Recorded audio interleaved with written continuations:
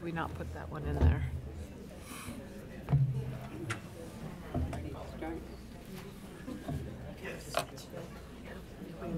Nobody will know the difference. They won't, yeah. Yeah, exactly. Uh, Today is Tuesday, December 11th. We gotta get the microphone. Sorry about that. Today is Tuesday, December 11th, and a meeting on the, of the Salem Keizer School Board is now called to order. Will you please join me in the Pledge of Allegiance?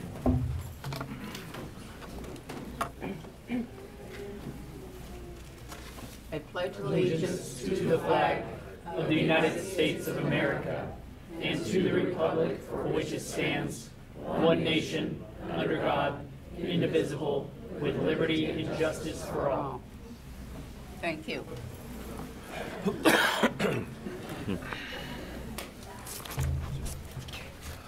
Board attendance for, um, your knowledge, everyone on the board is present tonight.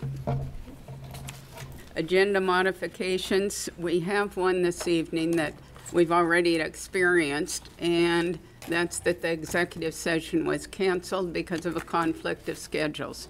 We had another meeting scheduled for um, Salem Keizer staff, so we did ca- cancel executive session, and we'll start our regular session right now.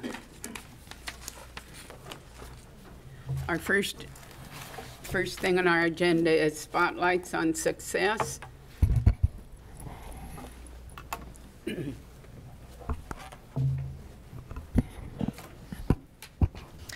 Good evening. Our first uh, spotlight tonight will be presented by Lillian Govus, our Director of Community Relations and Communications.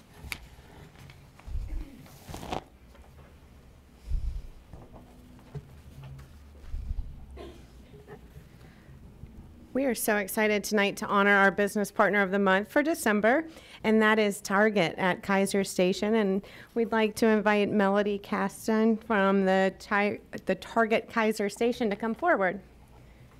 Is Melanie here? Yeah. Okay. All right. So we'll have Keizer Elementary come forward and accept on their behalf.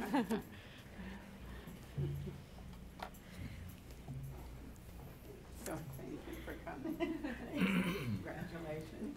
Congratulations. Claudia Mendoza, the school outreach coordinator at Keizer Elementary, was recently at Target in the Keizer Station Shopping Center. Walking down the aisle, she noticed a Target employee and asked for a manager. The employee called a manager who came over to talk to her. That Target manager was Melanie Caston, who patiently listened as Claudia explained why she was in the store. Students who don't get enough to eat at home or who miss breakfast can find it hard to pay attention and study. Claudia, Claudia was at Target to buy healthy snacks for those kids. After hearing why Claudia was shopping at Target, Melanie talked with her colleagues in Target's Human Resources Department. This led to a donation by Target of $125 in gift cards for Keizer Elementary and an additional $500 in gift cards for the Emotional Growth Center classroom at the school, which serves students receiving special education services. Students get drowsy and they lack energy when they're hungry, but they can also become cranky, hangry, um, and aggressive, um, says Keizer Elementary Behavior Specialist Tara Fernandez. Um, providing these students with healthy snacks removes a barrier that prevents kids from learning. Claudia said it made Principal Christine Balby very happy when she learned about Target's generous support. Keizer Elementary wishes to thank Melanie and the team at the Target Keizer station for giving the school a hand. Target went above and beyond the assistance the school was hoping for. Congratulations to Target at Keizer Station on being recognized as our business partner of the month for December 2018.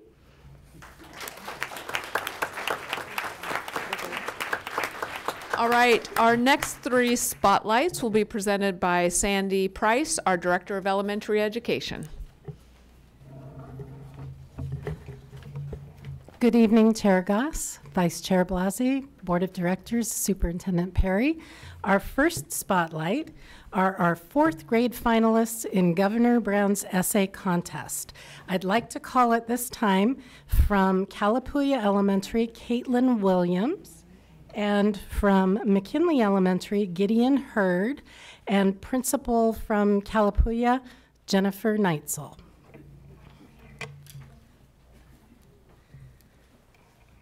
Oregon Governor Kate Brown asked our state's fourth grade students a question this year. What do you love about Oregon outdoors?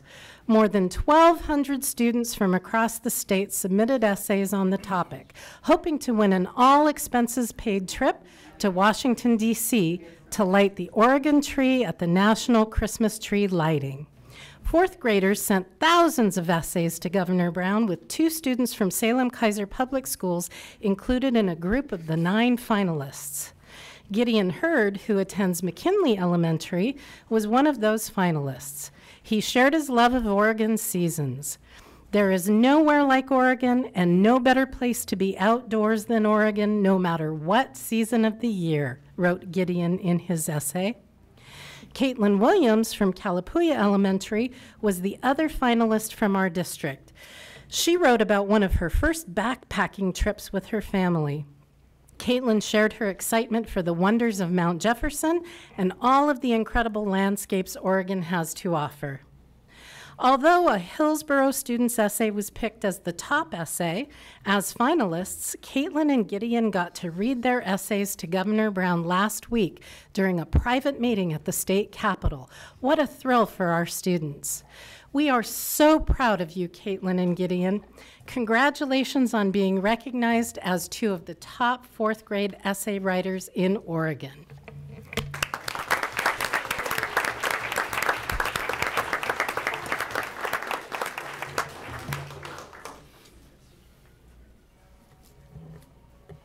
Very nicely done. For our next spotlight, we would like to welcome the representatives from the West Keizer Neighborhood Association and Principal Magda Romero from Cummings Elementary.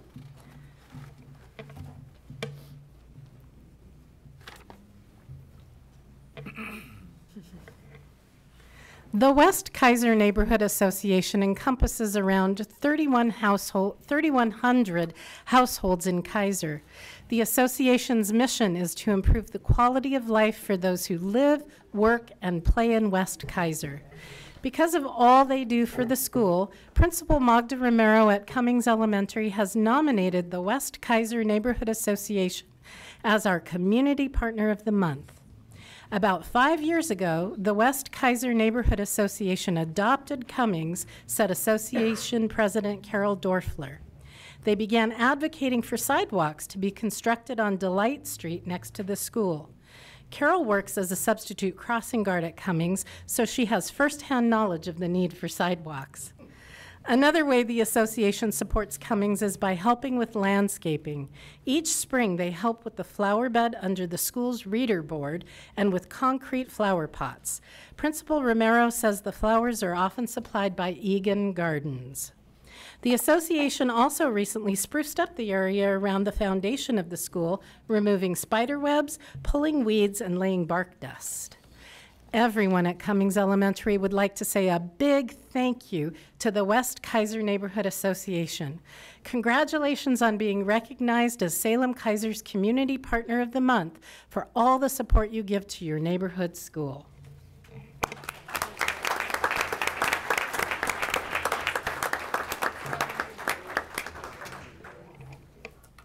Thank you so much. Thank you. And our last spotlight for the evening, I would like to welcome students and staff from Four Corners Elementary School and Principal Phil Decker. Please join us up front here. And parents, and some parents from Four Corners. Yes. As they make their way up, I want to ask you all a question. What does it mean to be a champion? To the Cubs at Four Corners Elementary, a champion is someone who shows courage and honor, has a positive attitude, strong motivation, and perseverance, integrity, optimism, and most of all, never gives up.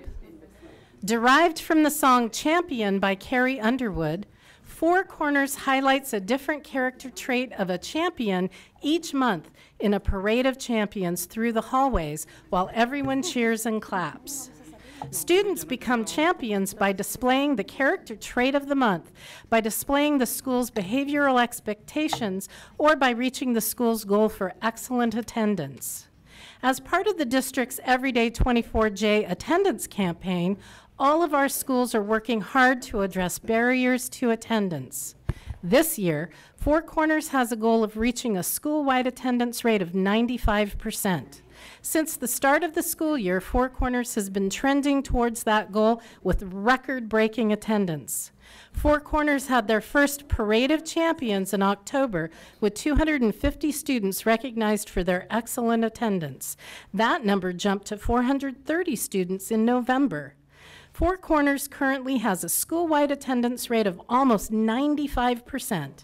All grades have above 90% attendance, and fifth graders have an impressive 97% attendance rate. Four Corners counselor Kimberly Segrist. Where are you? There she is, back there. She says students recognized as champions are succeeding despite the difficult challenges they face in life, and their hard work needs to be celebrated. We are proud to celebrate the Four Corners Cubs tonight for the hard work students and their families have put into their education this school year. Congratulations.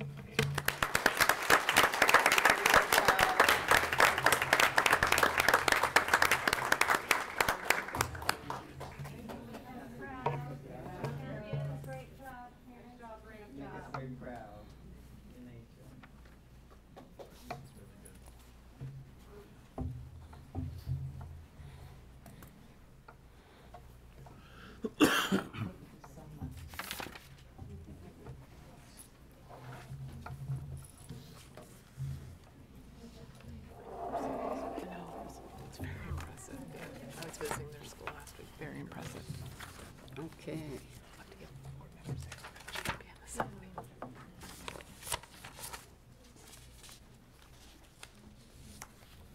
The next event for this evening is uh, public comment. This particular section of public comment is for things that are on the agenda this evening. There's one later in the agenda for public comment into things that are not on the agenda. I do want to want to let you know that if you came for a boundary discussion or something along that line, there was a conflict of interest tonight, and our specialists on the boundary are giving boundary meetings to parents around town. So if you want to talk about boundary, you're more than welcome to stay, and the board will listen. But if you have very specific questions, you might want to either wait until our next meeting, or for that matter, um, you can leave the message, and we'll be happy to, to pass it on. So it's up to you. Uh, The list for tonight, first person is Bridget Wellborn, Howard Street School in Salem.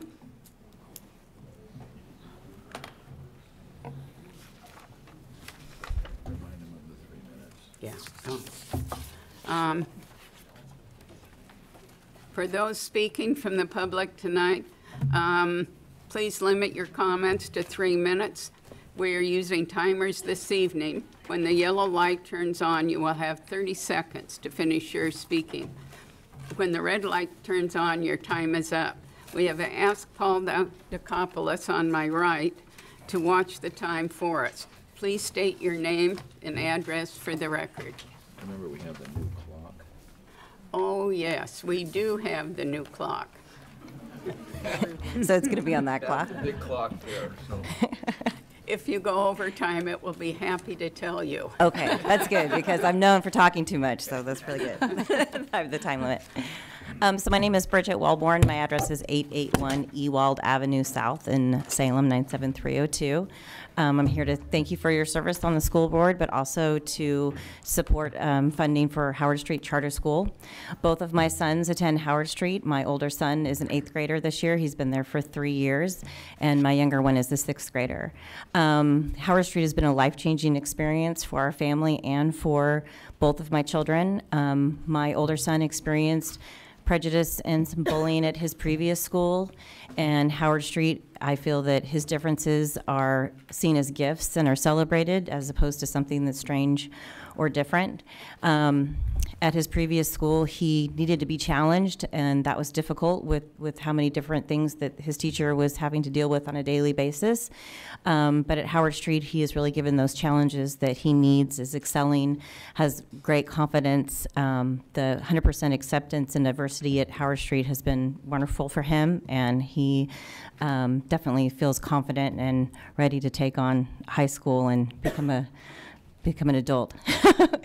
um, my my younger son was a little bit the opposite. So I have two kids with definitely two different personalities and learning styles. And my younger one has never been fond of going to school, but at Howard Street he can't wait to go every day.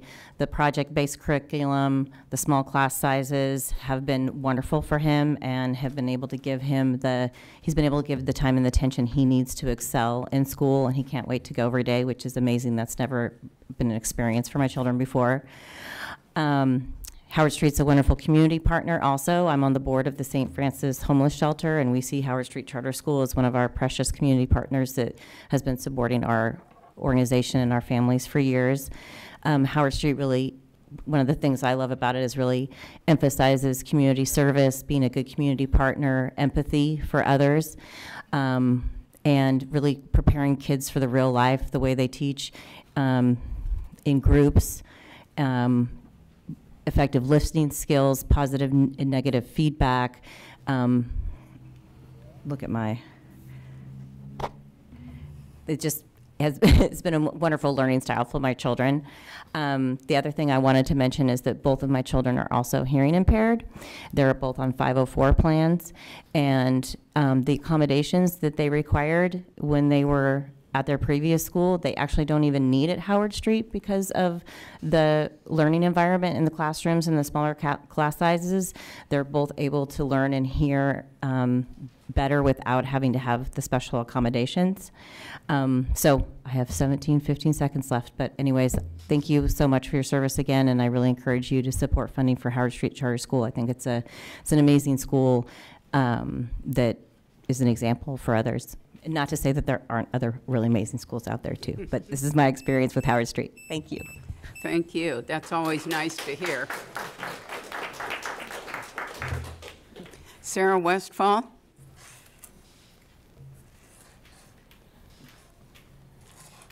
Hi, I'm Sarah Westfall, and my address is 3255 Crestview Drive South, also 97302. And I also am coming in on behalf of Howard Street, advocating as both a teacher in the district and a parent of two Howard Street students, um, requesting support and funding from the school board. For 21 years, Howard Street has had a great presence in our community, and we'd like to see that continue in the coming years. And with two of my children at Howard Street, I've been able to see its great impact on their education and themselves uh, in their personal growth. Howard Street meets the needs of many young local teens during what can be a really challenging time of teen development.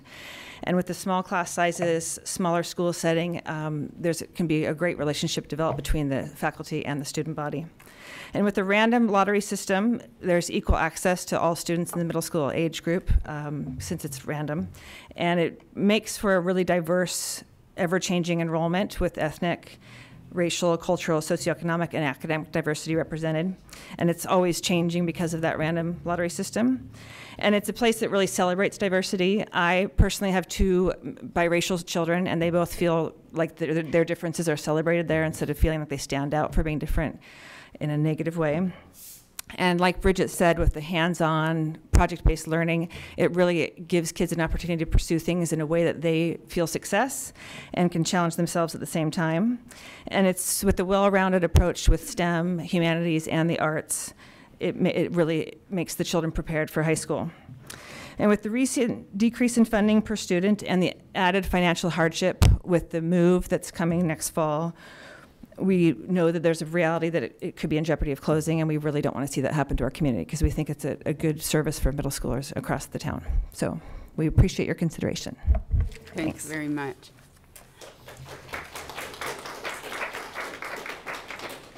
Next is Haley Herr, and Michelle Goodness will follow Haley, if you'd like to come on up and get ready. Hi, my name is Haley Hare, and I'm a student at Howard Street. I'm a seventh grader, and I live on 4855 Driftwood Court Northeast. And this presentation I'm giving today is not only about saving our school, but also saving many educations for children at this school. Um, as you already know, Howard Street has a high chance of closing, and if that did happen, it would be very devastating to our community and most of the parents and children that go to the school now. Um, this school has given me a various um, amounts of opportunities, um, such as I've gained a better understanding in most of my classes, and as I struggled a lot in, uh, in my other schools and different, uh, like I didn't learn as much. But once I came here, it helped me grow as a learner. If you were to ask me what my favorite part of this school was, I would most likely say the uh, zero bullying, bullying tolerancy. Um, as you also might know, we are a music and arts school, but that gives us the title of a school that only does music and arts, which is totally wrong because we have three categories, which shows Ellington, Einstein, and Esperanza. Um, Einstein shows technology, science, math, also known as STEM. Then there's our other category, Ellington. It shows visual arts, dance, drama, graphic design, and music. Then last but not least, Esperanza. This category shows world history, social studies, language arts, and Spanish. Our school also does, t- does tons of community service work. We do rake and runs for our neighbors, and then we do the food drive for St. Francis, along with other service projects all throughout Salem. We do this so we are giving something to our community. We are not just a school, we are a family. So please help, my, help give my family, my friends, and teachers' family hope. I urge you to pass this resolution so that many, many, many more generations will be able to go to a wonderful school and experience wonderful education that is Howard Street. Thank you. Also, thank you for serving on our board, our representatives, uh, for the Salem Keizer School uh, District. Thank you, Haley. Haley, I want to compliment you on your presentation. It was excellent. You did a nice job. Uh, Michelle? My name is Michelle Goodness. I live at 2764 12th Street Southeast in Salem, 97302. Um, I have taught at Howard Street for two and a half years. I also have the unique perspective of having taught in several other Salem Keizer schools before this. Here's what I know based on my teaching experiences over the past nine years. We have exceptional schools in the Salem Keizer School District. Our teachers and other staff members work incredibly hard to connect with kids in meaningful ways and to help them succeed academically. Howard Street is no exception. While Howard Street is a school that is unique in its size, in its vision, and in its community, it is also a school that is striving for all of the same outcomes as every other school in our district. We want high graduation rates. We want all students to prevail. We also want to challenge these young people to work harder than they think they can. And we see a future where every child knows how important they are. This is a common mission. We share it with each and every one of you. What our school is asking is to continue to be able to share that mission with the Salem Keizer School District. To that end, let me talk briefly about one of the goals that we strive for at Howard Street. Part of our unique mission is to encourage middle school students to strive towards creative, out of the box thinking. I'd like each of you to put on that hat for a moment in thinking about our current situation. Our financial situation is unique in the history of this district. We fully understand the limitations of what we are asking, as well as the need for equity, but we are not asking for more than any other school, nor are we asking for something inequitable, an unfair advantage. We are simply asking for something different, but not because we are different, simply because we are in a unique situation that is quite simply out of our control. South needs our space. We know this, we understand this. This is the reason why our principal and our board have worked tirelessly, have spent countless hours coming up with creative solutions and working to ensure that this school, a school that has been part of the Salem community and has shared a vision with the Salem Keizer School District for more than 20 years, continues on for many years to come. Yes, we are asking for something different than what has been done, but we certainly are not asking for something unreasonable. One last thing. Before you make your decision tonight, I hope that you will not only think about the budgetary decision that you are making. I hope you will also think about the statement that you are making to the students of Howard Street, the 180 kids who are part of the Salem Keizer community. Thank you for your time and all that you, each of you do for our students and our community. I hope you will do us the honor of making a decision tonight which will allow us to remain part of this incredible district for a long time to come. Sorry for going over time. Thank you Thank you very much, Michelle. Next is Neaton Joshi. I might have said that wrong. No, it was fairly okay. It's uh, Nitin Joshi. Thank you. Uh, by the way, it's uh, I reside at 1597 Webster Drive, Southeast. And uh, good evening, uh, all of you members of the board. Uh, I'm here today uh, as uh, a parent of one of the students in Howard Street Middle School, and uh, who's an eighth grader, Mihir Joshi. And I'm here to talk in support of item 6C on your agenda tonight. Specifically, uh, basically, I'm here to alleviate any concern that you might have regarding the inclusive nature uh, or the diversity at Howard Street Middle School. Um, not long ago, me and my family were over here, uh, right in front of you, and basically, you were honoring my son uh, for uh, and his friend for representing the school district to uh, go to the nation's capital and basically be a finalist for a STEM-based uh, um, STEM-based competition for middle schoolers. And I'm glad to report that basically they came out with uh, winning that competition with a significant amount of awards. Uh, both of them did very well. So I just want to let you know that uh, not only did they do this, their school proud, but also the school district. So uh, definitely put us much more on the map right there.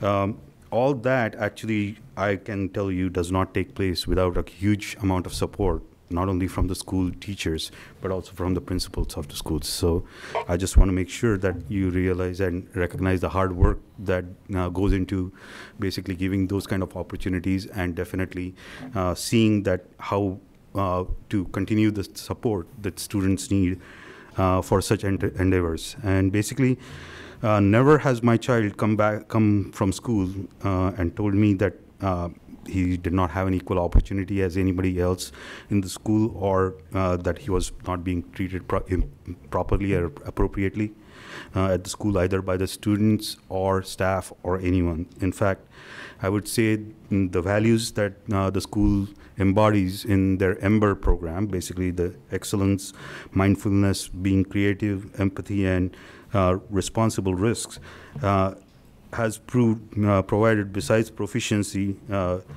the Howard Street uh, that is it's really worth emulating. It's really something that you uh, should probably uh, propagate to other schools as well. So, with uh, in conclusion, I would like to recommend that the board support Howard Street request without any hesitation, and I would say there are more avenues for you know this kind of successful school to continue to thrive in this community that we should be seeking. Thank you. Thank you for coming. Our next uh, speaker will be Zoe Draken. Uh-oh, I said it wrong, no. And following uh, Zoe will be Mindy Merritt.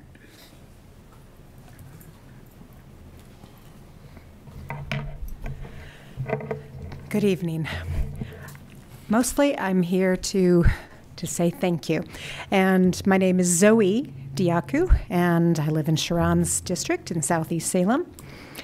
And I would like to thank each and every one of you for your work as school board members, and particularly for not trying to avoid conflict. And I want to thank you for not rubber stamping proposals. Thank you for thoughtfully listening to members of our community. Thank you for listening to those who um, talk about how wonderful the Howard Street program is, which it truly is. It's a program I, I love. But thank you for also listening to those who are concerned about conversations that should have taken place long before now um, about equity um, and the fact that they do not serve the number of non white students that most of our other schools do. And thank you for those listening to those who are expressing concern about the lack of accessibility of our district website or the lack of accessibility and communication about our boundary meetings. And thank you for recognizing that many members of the community deem it highly questionable to offer early renewal and a bonus to our superintendent when we say that we have a budget shortfall. Again, thank you for your work on this board. Thank you very much for coming. It's appreciated.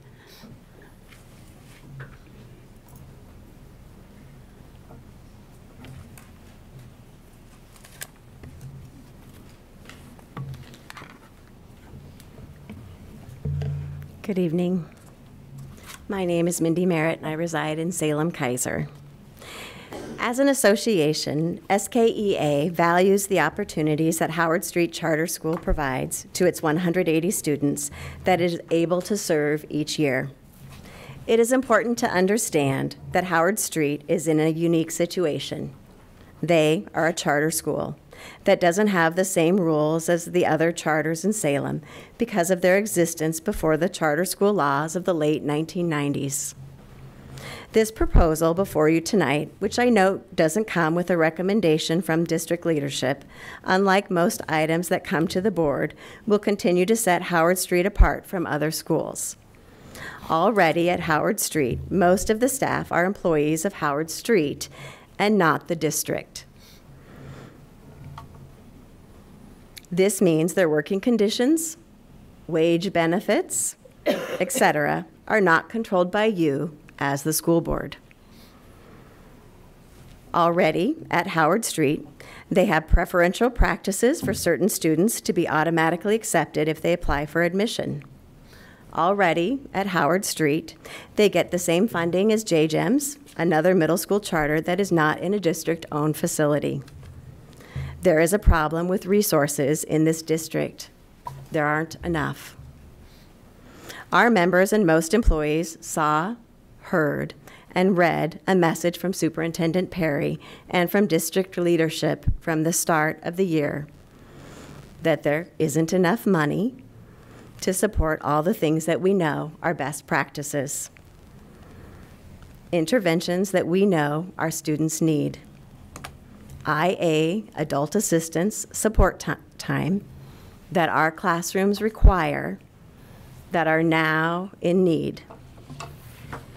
Growing class sizes because we can't hire more teachers and we don't have the funding necessary for the students that have special needs and the students that have social emotional needs that right now are in need and are going without is providing this charter school with more resources to support the up to 180 students at this school the most equitable thing to do. One of the arguments in this proposal is that Howard Street doesn't have the access to a public bond process the same way that the district at large does. So the proposed solution is to use general fund dollars to pass through Howard Street and pay for their bond. The public decided on the bond for the district to include being used to see what the proposal was for. Where is the public input for this bond? That the district would be funding with the public dollars. Furthermore, the pub building would not be owned by the district, but the district would help to fund its renovation.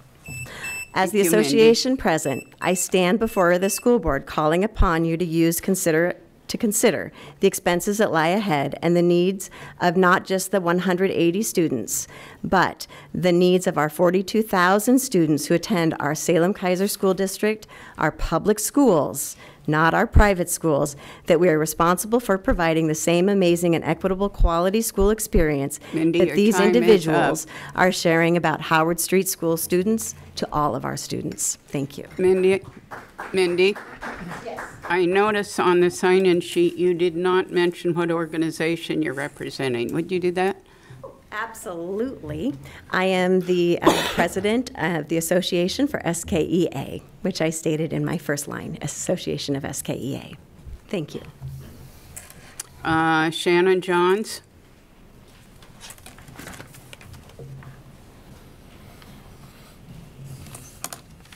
Hi, I uh, too want to join in the thanks for taking your time and your energy to be on the board, and I come to you in support of the Howard Street proposal. My daughter picked up a, picked up a book on her own and read the other day. She's never done that, and as an avid reader who wished to share that with my oldest child. That was a moment that came because of what she was doing and the education she's receiving at Howard Street.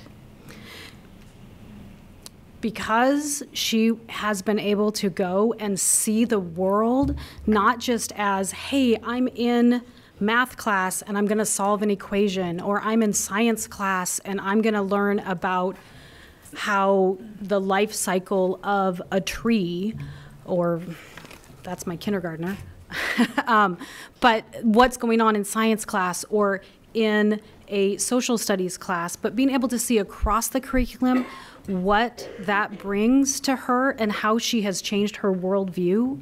She picked up a book because she had an interest in it and wanted to learn more.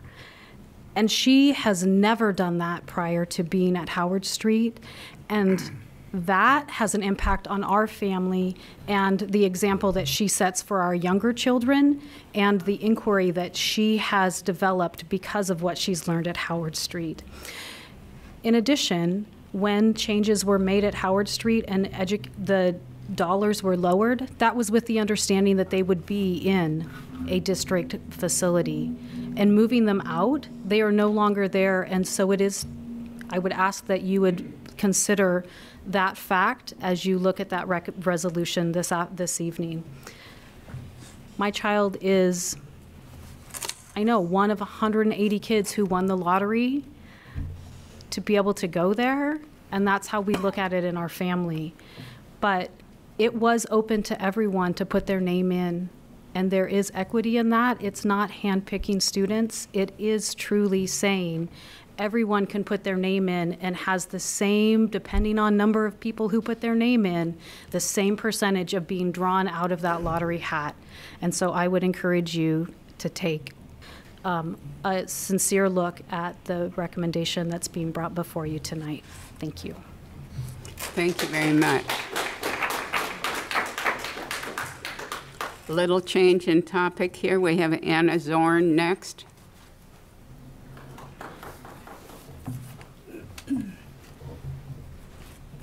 Hi there.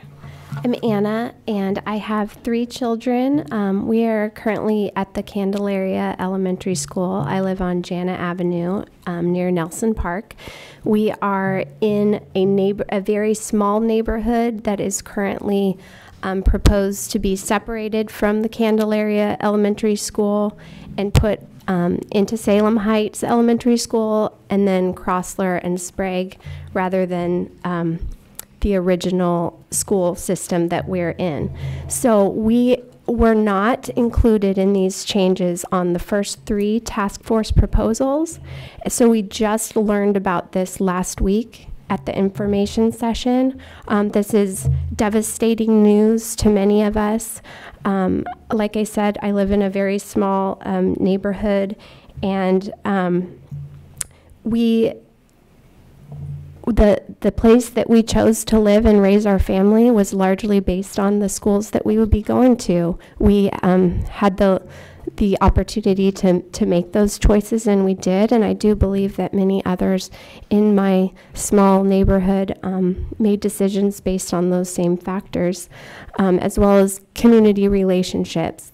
The Candelaria community is a very small one, um, and it is questionable whether the um, changes would have a significant impact.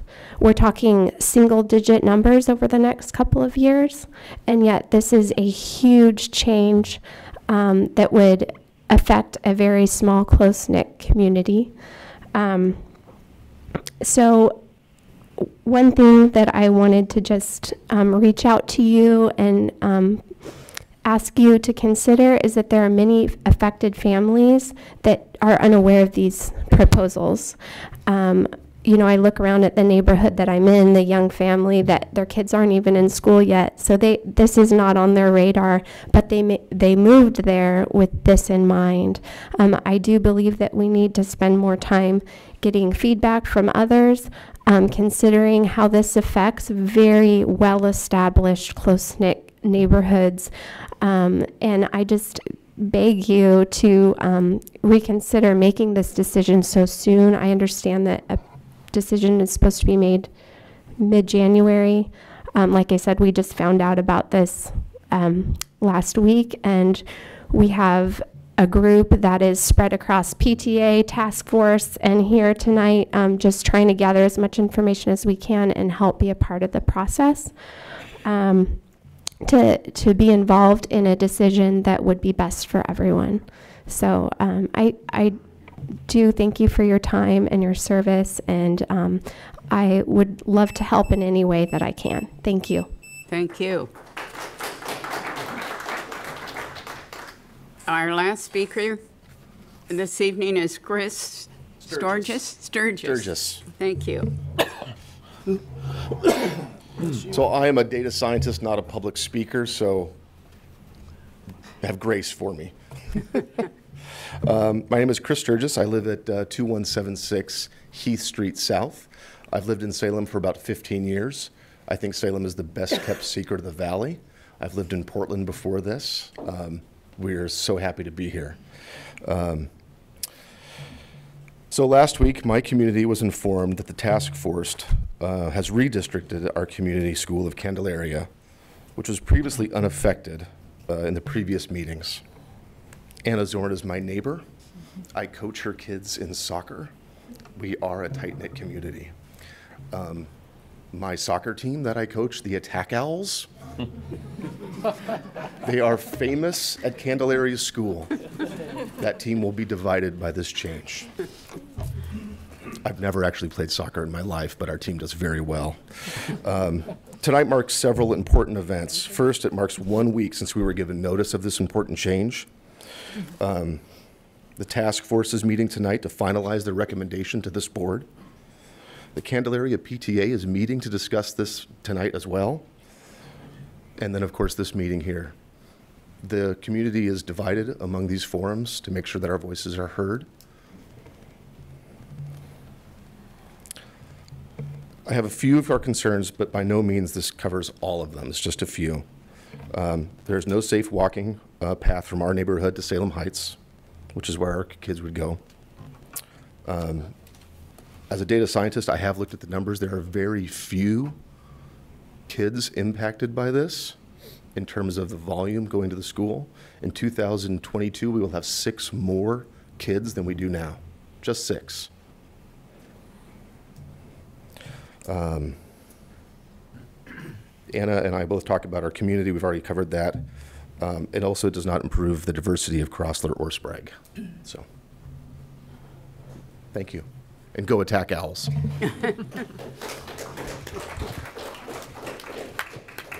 Thank you very much. I'm sure you're a wonderful coach.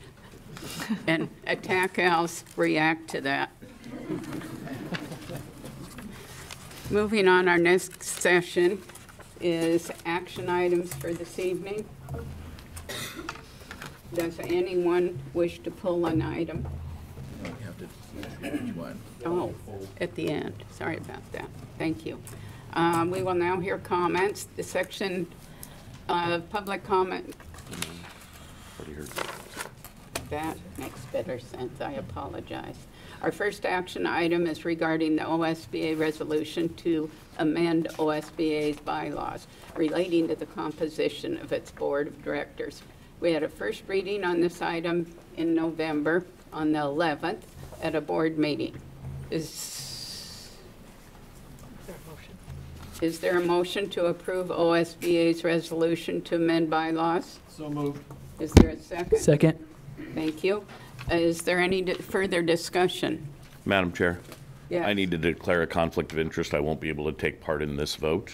OSBA is my employer, and this creates the bosses for me at my employment. Okay. Uh, The resolution has a motion before us. There has been a second. And is there any more discussion? We will call for a vote. All those in favor signify by saying aye. Aye. Uh, All opposed? Seeing none, we pass this motion With one abstention. with one abstention. Thank you, Mr. Green.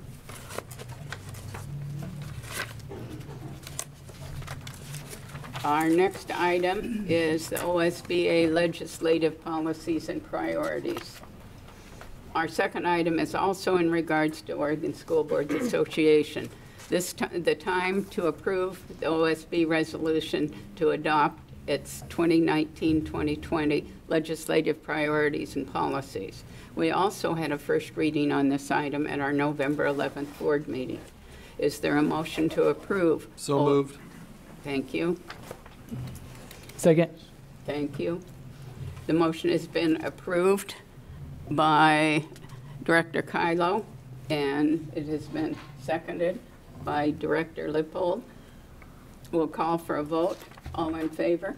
Madam Chair, again, There has to uh, need to declare a conflict on this, and I'll be abstaining from the vote. Thank you. We will call for a vote. All those in favor signify by saying aye. Aye. All those opposed? The motion passed. Can I comment on that? You sure can. Okay. Um, I'm on the, I serve on the Legislative Policy Committee for OSBA, and I just want to say um, there's a lot of hours and hours put into this. Um, some of the big things we were looking for was um, making sure that there weren't any, uh, keeping the state financially responsible, so make sure they're not putting mandates on us that aren't funded, of course. Um, and then, of course, increasing school funding, making sure we can fund our kiddos. So that's all. Thank you, Director Lippold. Any more comments or discussion? Thank you. We'll move on to the next action item. And the next one is the approval of the Howard Street. There it is. The Howard Street Charter School. And I'm going to interject a comment before we start. And we've noticed this, I've discussed it with the rest of the leadership team, that the way this is set up, parents come in and make a comment, and in the next section, we vote. And that always seems to me very harsh. People don't realize that the board members have read about the issue, and I want to assure all parents that come that whatever you have to say is considered. So it almost seems like we've made up our mind ahead of time. You come and we ignore what you have to say. I want to assure you that that isn't the truth, that the parents that come and speak have every possibility of pushing our vote one way or another. Now, let's start. All right, um, this next action item is the approve, to approve or not approve the funding modification for Howard Street Charter School Agreement. And with that, I'm going to turn it over uh, to Principal Tracy, and she has a couple additional um, bits of information she wants to provide uh, the board. Thank you.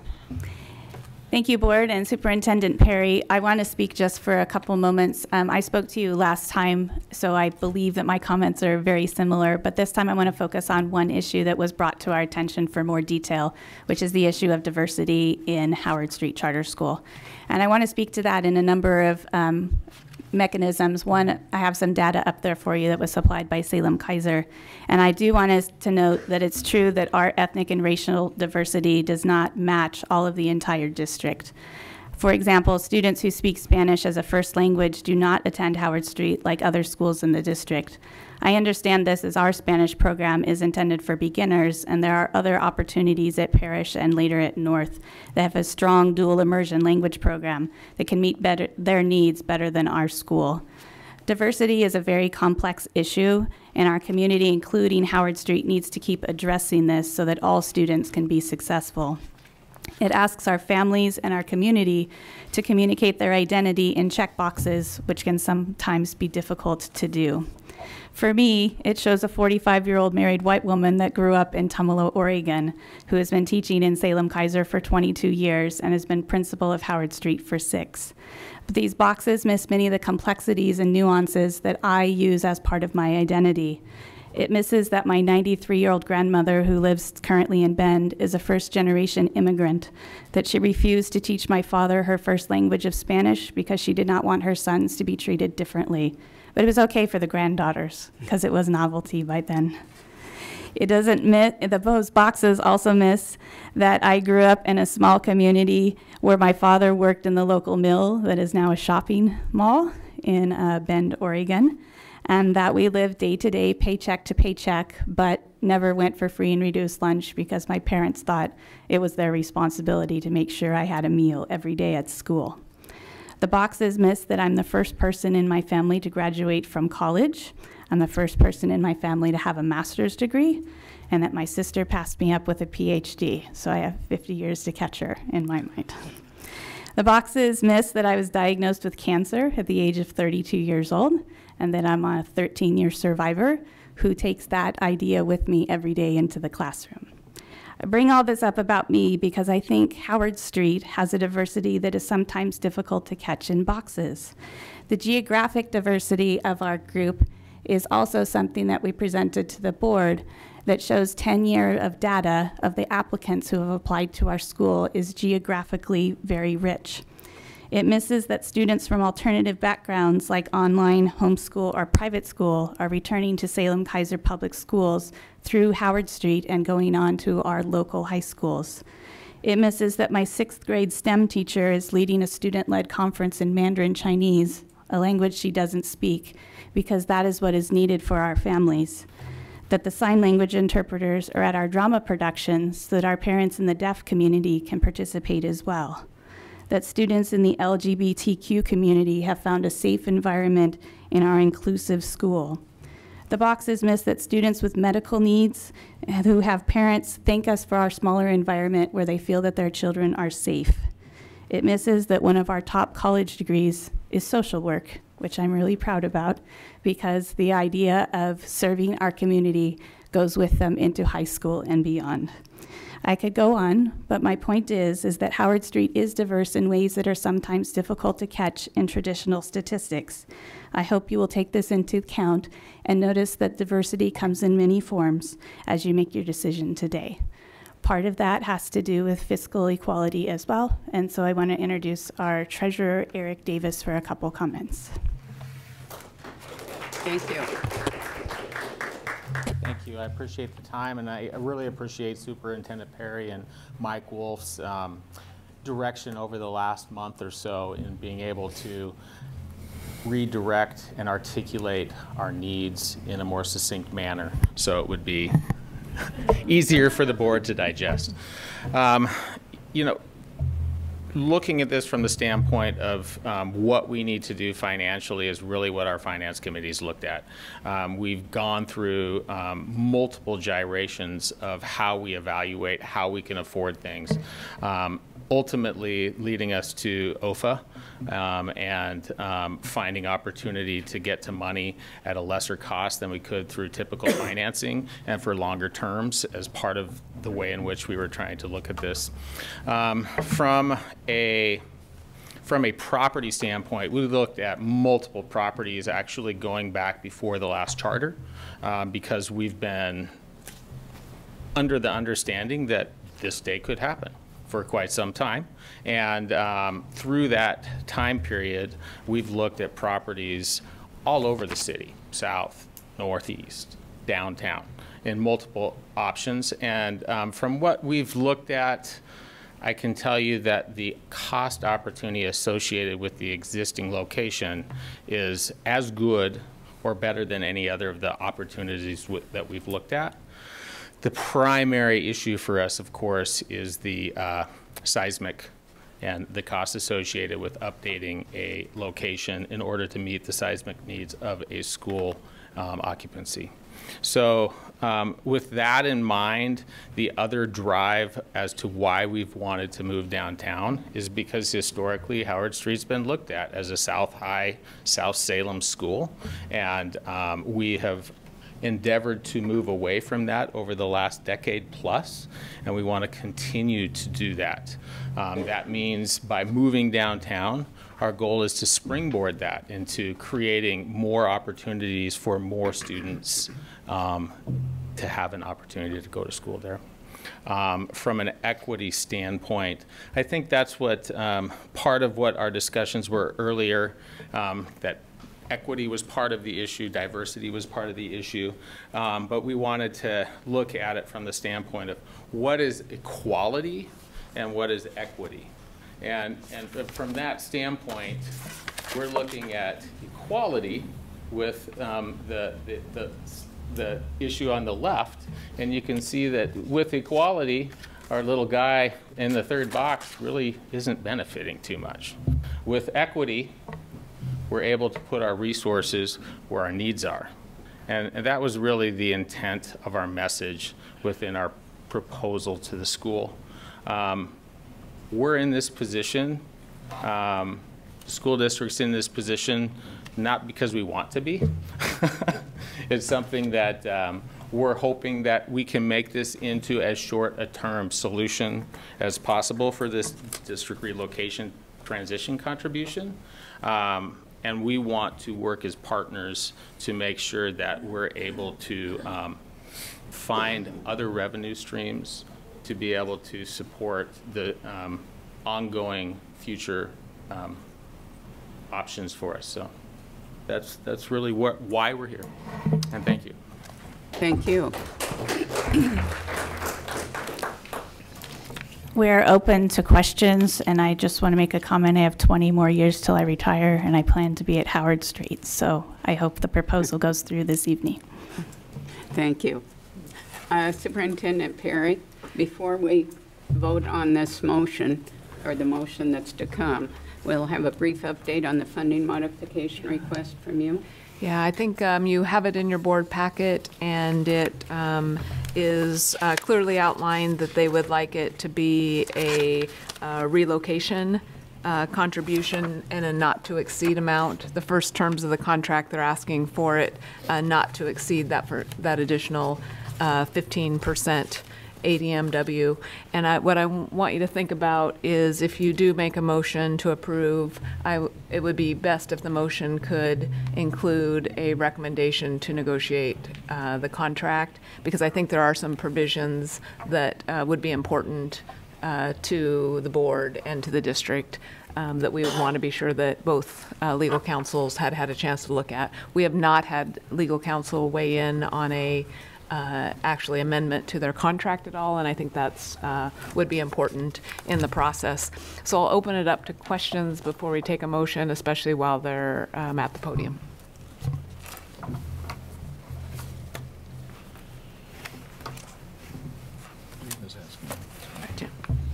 Director Green? Thank you, Madam Chair. I, I had some questions. Mindy's testimony, the SKEA president, um, indicated that there were preferential admissions treatments for students. And I was reading the contract that we have between you and us, and there aren't any preferences except for siblings, or if they attended the school previously. Is that correct? That is correct. Except I also notice on your website, you give preference to staff members, students. And that's in violation of the law. You do not have a waiver to do that. So please tell me you're not doing that. We had a recommendation from ODE. We contacted them, and there is language in our admissions that meets the ODE standards. I also contacted ODE, and they indicated that you do not have a waiver from ORS Chapter 338 to have that occur. And we have not had that occur at this point, yes. Uh, I guess another question is, in your uh, facility relocation project, you've talked about some work that you've done with AC and Co. Architects and Rich Duncan Construction, Richard Duncan Construction. You've done that under public contracting law, is that correct? Yes, so we went through an RFP process last uh, school year. Uh, We opened it up and had interviews as well last spring. So I guess a question then would be, where did you receive the funds in order to have that work done? We currently have reserves that we have been using to have that particular uh, component. We've been saving our pennies over the last 20 years. And I guess then my follow-up question is, what's your current reserves? Our current reserves as of November, and Pablo, correct me if I'm wrong, was 600,000, correct? Are there other questions? Thank you. And um, first of all, thank you for providing additional information. I know that I've been asking a lot of questions about equity, and I still have questions because I think despite the, the visual that you displayed, I still have concerns about the difference between access, equal access, and equity Mhm. for your population. And I don't want to confuse that with the funding request, but because this does keep coming up, and, and I appreciate you answer the questions, um, I guess two years ago, we had a conversation about um, the process you go through to try to encourage families of color or uh, more diverse families, student population, to to apply. So yes, it's a lottery system, but people actually have to go to the website and they have to sign up. And I guess I was really surprised to see that um, you know the, the families of color have not increased; instead, they've decreased. And I'm, I'm sure you're aware of that. So I, I guess I'm a little troubled by comments that. Um, so the question I have is, what are you what are you doing and to try to encourage families of color and um, and those of a, a different economic background? And I guess part of that question too is I I saw the scatter plot of where families live, but I still don't have information about, uh, you know, the free and reduced lunch safe families or, um, you know, the economic means of the families. And that's what I've been asking about. And so I, I still have those outstanding questions. Sure, and I greatly appreciate the questions because it makes us think as well, and I am thankful for that. Um, I wanted to show you the scatter plot ge- geographically because one question that we do not collect demographic information on our applicants. It is a completely blind lottery, so we do not ask anything except for address and a couple questions in order to ease access. And the answers to those don't even have to be in English, so it just has to be an application. It does not have to be from the website. We also send out flyers to all of our elementary schools, for example, and, and the counselors there as well to try and broaden the um, base. Our understanding was that in order to have a fair and equitable lottery as required by Oregon State, we did not want to target any specific groups of people. We want it open to everybody.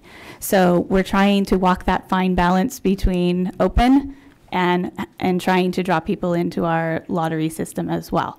We do have um, tried to remove every barrier that we can for people to apply, and that includes uh, minimizing our application to not a lengthy process, so that everybody can apply. I agree with you that it's a lottery and it's a constantly changing system. I know this is hard to believe, but we are more diverse now than when we started as a South Salem feeder school. And a lot of the schools that we draw heavily from, Candelaria, McKinley, and Salem Heights, are not as diverse as our other elementary schools as well. Um, we do not go to individual PTC meetings of any kind of any of the schools. So we are certainly looking at that. Um, when we were coming up for recharter, um, we looked at there's a new weighted lottery option in uh, Oregon under the charter school law. Um, we found out that was very complex and it was not there is no guidelines from ODE at this time on how to even implement that. So we are certainly looking at that. But it's also one of the reasons that I really wanted to move downtown. And I think that's going to open access to a new community with Grant Community Neighborhood being nearby and us being closer to Parrish and North than our current community. I agree that we have had the option when we were started before the Oregon Charter School law that we created a certain culture that we have been chipping away at over time to become more and more diverse. Just the irony to that is um, some of the foundations where you can get the most significant amount of money for, we don't qualify for today because of our lack of diversity. So it is absolutely a motivation of ours to be able to continue to create diversity for those types of funding options as well. Director Heyen. so it's not really a question for you so much as kind of a statement. As a former charter school mother of a JGEMS student, my minority child won both Howard Street and JGEMS lotteries. And I know it's totally random unless you have a sibling there already. Um, I, I think what could be done, and it's not really maybe so much you guys, but the rest of the district, is to make sure that all parents know about the opportunity, maybe starting even in fourth grade, because information doesn't always make it home. Parents don't always know what the particular opportunities bring, you know, what what special things you can do at JGEMS and, and Howard Street that you may not do at a regular school. And so if we start maybe in fourth grade and then again early in fifth grade, so parents are totally aware of this option to take advantage of it. Unfortunately, there's always going to be the problem of transportation. Um, our first year was at Waldo, which was in walking distance from my home. That's why they got picked over Howard Street, where I'd have to drive. Uh, but then they lost their spot in Waldo and had to go, they went to the deaf school. So we had transportation issues. But you know, you can carpool and make things work if you really want to. And, um, and, and if you can't, then maybe that's not the right option for your family. You know, every kid has different needs and uh, learns differently. So I, I, think we could do better by making sure the parents know about the opportunity, and maybe then you would get a more diverse population. Uh, Director Lippold? Sure. Uh, looking at your uh, your scatter plot 1B, which shows is which shows your students currently enrolled in Howard Street. Mm-hmm. Um, it looks, I mean, of course, significantly as if these students are all in South Salem because they are. Um, I mean, which makes sense because your location is there. That's where you guys, your guys' building is. Um, and, and 12 of those were siblings. Oh, so, fair enough. That's a lot of siblings. Yeah. um, when you move downtown, uh, because you guys are going to be moving, so I mean, of course, your location is going to be different. What is your plan to get that community, your new community, um, to know about Howard Street and um, to take a look at it? One thing that we're looking forward to is continuing our community events in a new community. So, for example, the Rake and Run. I don't know if you've heard about that, but we uh, go out and tend to our neighborhood. We rake their leaves for free and just walk around the community, um, volunteering our services to assist. We hope to do that in the Grant Community Neighborhood, which will be a new neighborhood for us. We also want to have community partnerships in the downtown area. For example, we will not have a gymnasium, so we've already reached out to some of the local churches nearby who have an auditorium in order to build some of those community connections. So I'm looking forward to it. Um, I am a former Spanish teacher in addition to my current humanities uh, assignment that I do. I would love for our kids to go read at Grant as a, as a neighborhood opportunity for our students and for the Grant students as well. So I believe there are connections that can be made in our new space. We just have to get there first. Thank you. Are there any more?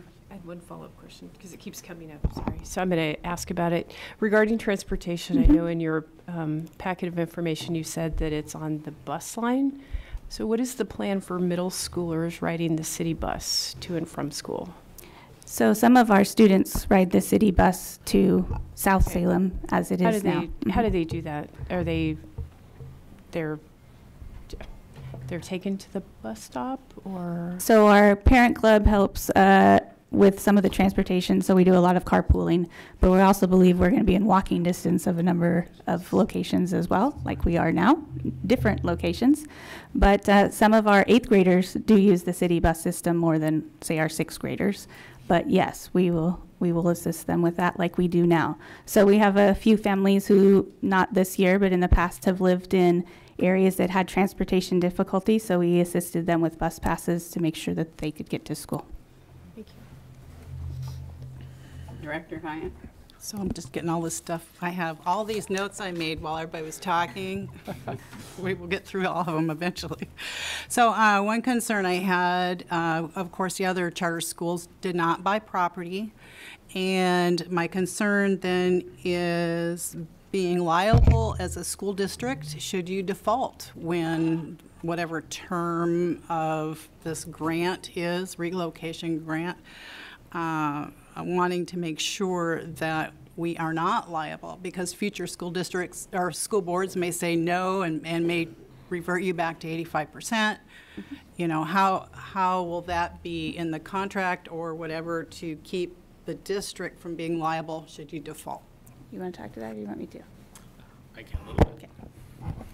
Um, I think part of that is going to be based upon the agreement we have with the church. Um, the church has um, stepped up to be partners with us through that process. Um, and what I mean by that is that um, they, their lease um, of the surrounding um, real estate that the building sits on. Um, within our lease agreement, it defines that it always has to be a school. So they've been very supportive of how we go about doing that. As, as far as the OFA financing is concerned, um, I, I do not see risk to the district through the default. Um, this is between Howard Street Charter School and the um, funding that comes through that OFA process and the bonds. Um, the, sc- the school district is not part of that agreement. And we will be the third school, charter school in Oregon to do the OFA financing. So this process has also occurred in Redmond Proficiency Academy, as well as um, Arco Iris in Portland. Are there any other comments or questions? Just one other, just one other thing there. Because we are a charter school, we are sponsored by you, and we are not part of the district, so it's even another separation. So- So that I look at as a protection to the district as well. I Just want to make sure. Get it? Is there a motion to approve the funding modification to the Howard Street Charter School? Have a question, a point of order. I just raised a question. Okay. I'm sorry that I, I missed it, but I thought usually after public comment is done, you ask if there's anyone else who would like to make public comment. I'm I sorry. I thought this was public, additional public comment. So I wondered if you'd, if I could have the opportunity or not to make. Yes, you can. Thank you very much. My name is Paul Crissell. I'm a, a community member. I live just a walking distance from Howard School. And I hadn't intended to talk about anything tonight until I heard the comments, heard the discussion about Howard School. And I have to say, I'm, my focus is the equity lens. And you have an equity lens here. And I, I, when you have engaged parents, you're going to have kids that are engaged. That's great. That's what Howard School does well. And my, my daughters were raised in the other public schools within the system here. And so, some of the same touching stories exist throughout other schools within the system. Also, when we look at diversity and equity, sure, you know, I grew up in a 100% white school district. We had diversity and economic diversity, we had lots of other diversity, but we didn't have racial and ethnic diversity. And with through your equity lens, you're really trying to struggle with the fact, I know, with the fact that this district is over 52% students of color. The, you're struggling to try to have the faculty match that, and it, what it takes is not just well, we have applications open to anybody. What it takes is recruitment. It takes intentional work to go out and recruit. Howard Street's been here for 20 years. I was surprised. I, it, I live near it, so I should have not been surprised. 20 years and have not even made much of a step in that direction. 81% white students. Sure, there's diversity among those white students, but I guarantee you there's similar diversity among black students, among, among Latinx students, among Marshallese students. You can't just say, we're open. Our process is open. You've got to make an intentional effort to reach out to communities of color, to underserved communities, and, and invite people in and engage people to bring them into this process. So I'm concerned, and we, what we don't have here is we don't have any data on the faculty and administration, and we pepper you on that when it comes to, to the public schools within the system. What's, what are you doing to increase, increase the diversity of faculty and administration dealing with students? I don't see any of that here. Well, it seems to me if you if you approve this charter, you got a lot that you've got to do to require some standards be put in place to show that 20 years of lack of action on this, of lack of success in having a diverse student body that reflects the students and the parents in this city, uh, that's a problem. And it, you know, looking at this, it raises all kinds of questions in my mind that it seems to me you're not ready to approve this.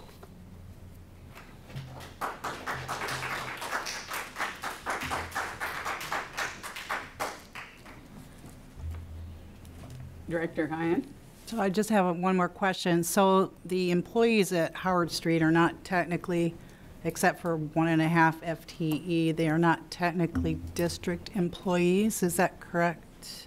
Do I have that correct or? Yeah, that is correct. I'm not sure if you have the right amount of FTE, but there is uh, mostly Howard Street Charter School employees that they pay. And then we have um, one and a half fish um, Salem Keizer Public Schools employees that um, are, we pay, yet they reimburse us for. So it's not a cost to us, but they are our employees. So, but the, the, most of them are actual Howard Street employees, not our employees? That is correct. Any other questions or comments? You're going to take comments after we vote, or after you call for the vote, uh, call for a vote, and then comment. Um, So is there a motion? I was going to make a motion. Okay, Marty's going to make a motion. I'll make a motion. Certainly. Uh, I'd like to make a motion that we approve the relocation grant and the contract, I may not be saying this right, so you guys can help me, with additional negotiation as required to make sure that we are kept out of the liability issue and everything. So are those the right words or not? I think the, I mean- the motion would be subject. I want you to look at it, Paul, Sub- and make sure. Subject to um, uh, a contract that's uh, in a form that's acceptable to- to the district uh, to account for the legal issues that, uh, that this presents. Okay, what he said. That's my motion. All right. Um, Considering Mr. Dakopolos' motion, do I have a second? Second. Thank you, Director Lippold. All those in No, favor? that was for discussion. Now you have to discuss this again. Okay. And I will be the first contributing discussion. And I, I tend to think that part of the diversity question will be answered by the change in location. And I did hear from their principal, actually, that they were going to make effort in that direction. Uh, You did make the comment that um, you had primarily schools that fed you that were right around you in that location. And a number of those schools are primarily white schools or higher income schools. And I think this will help. And I think that you have mentioned that you'll make the effort to do that. That and transportation will be solved to a degree downtown. Other comments? I just wanted to say again that I think the equity can be achieved more so than it is now by making sure we reach out to fourth grade parents across the district.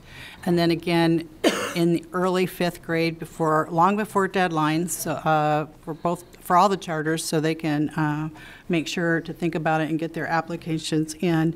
And because this is on a bus line, one big problem for not just for, for pretty much any parent is transportation.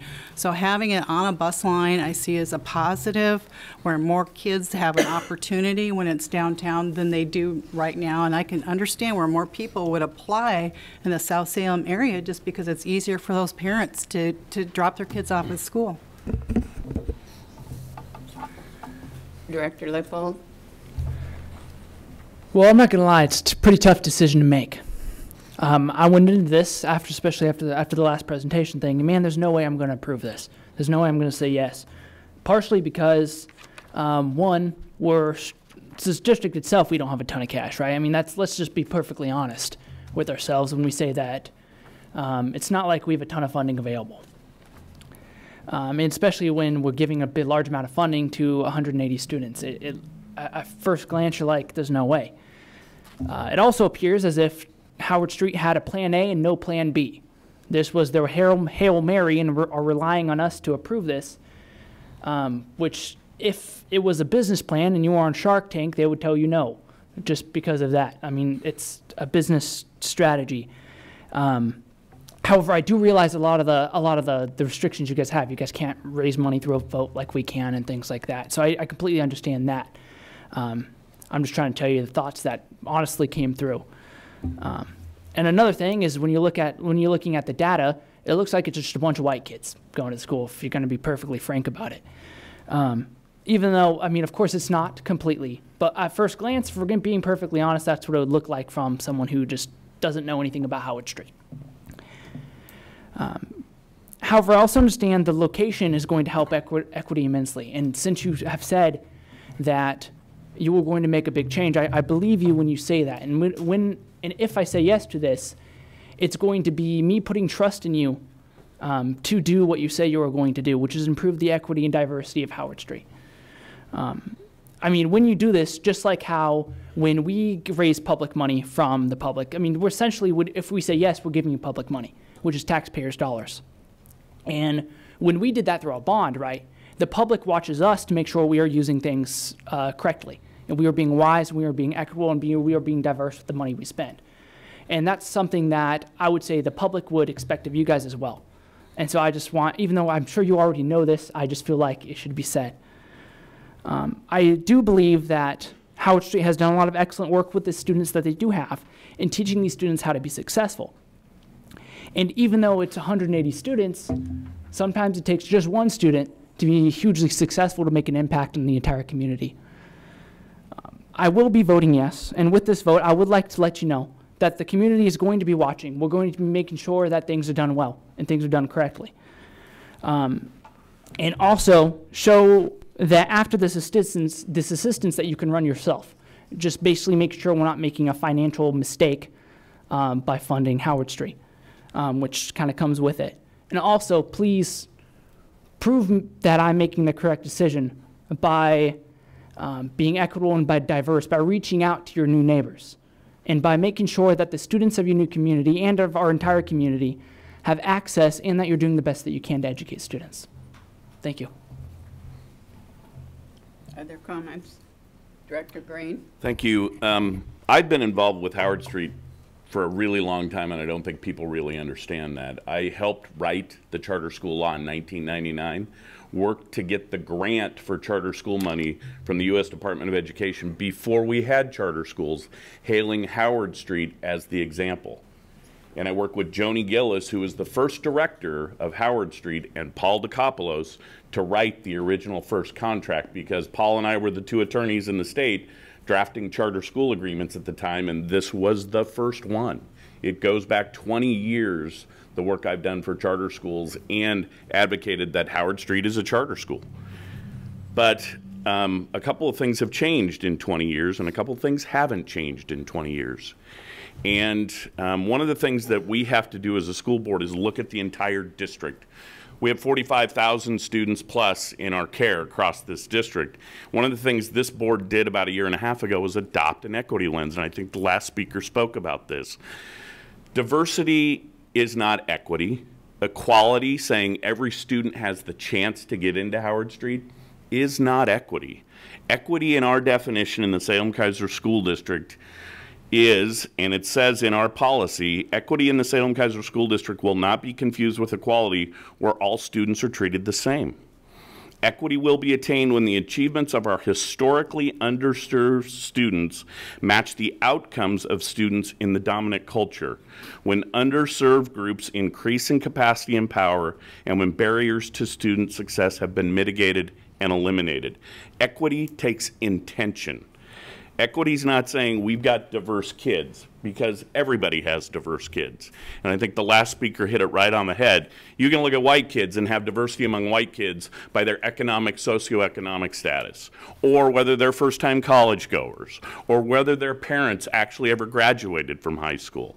Equity is an intentional action to make sure our underserved populations rise above. And I don't see that happening in Howard Street, unfortunately. And it's been a historical issue that I think you may want to address.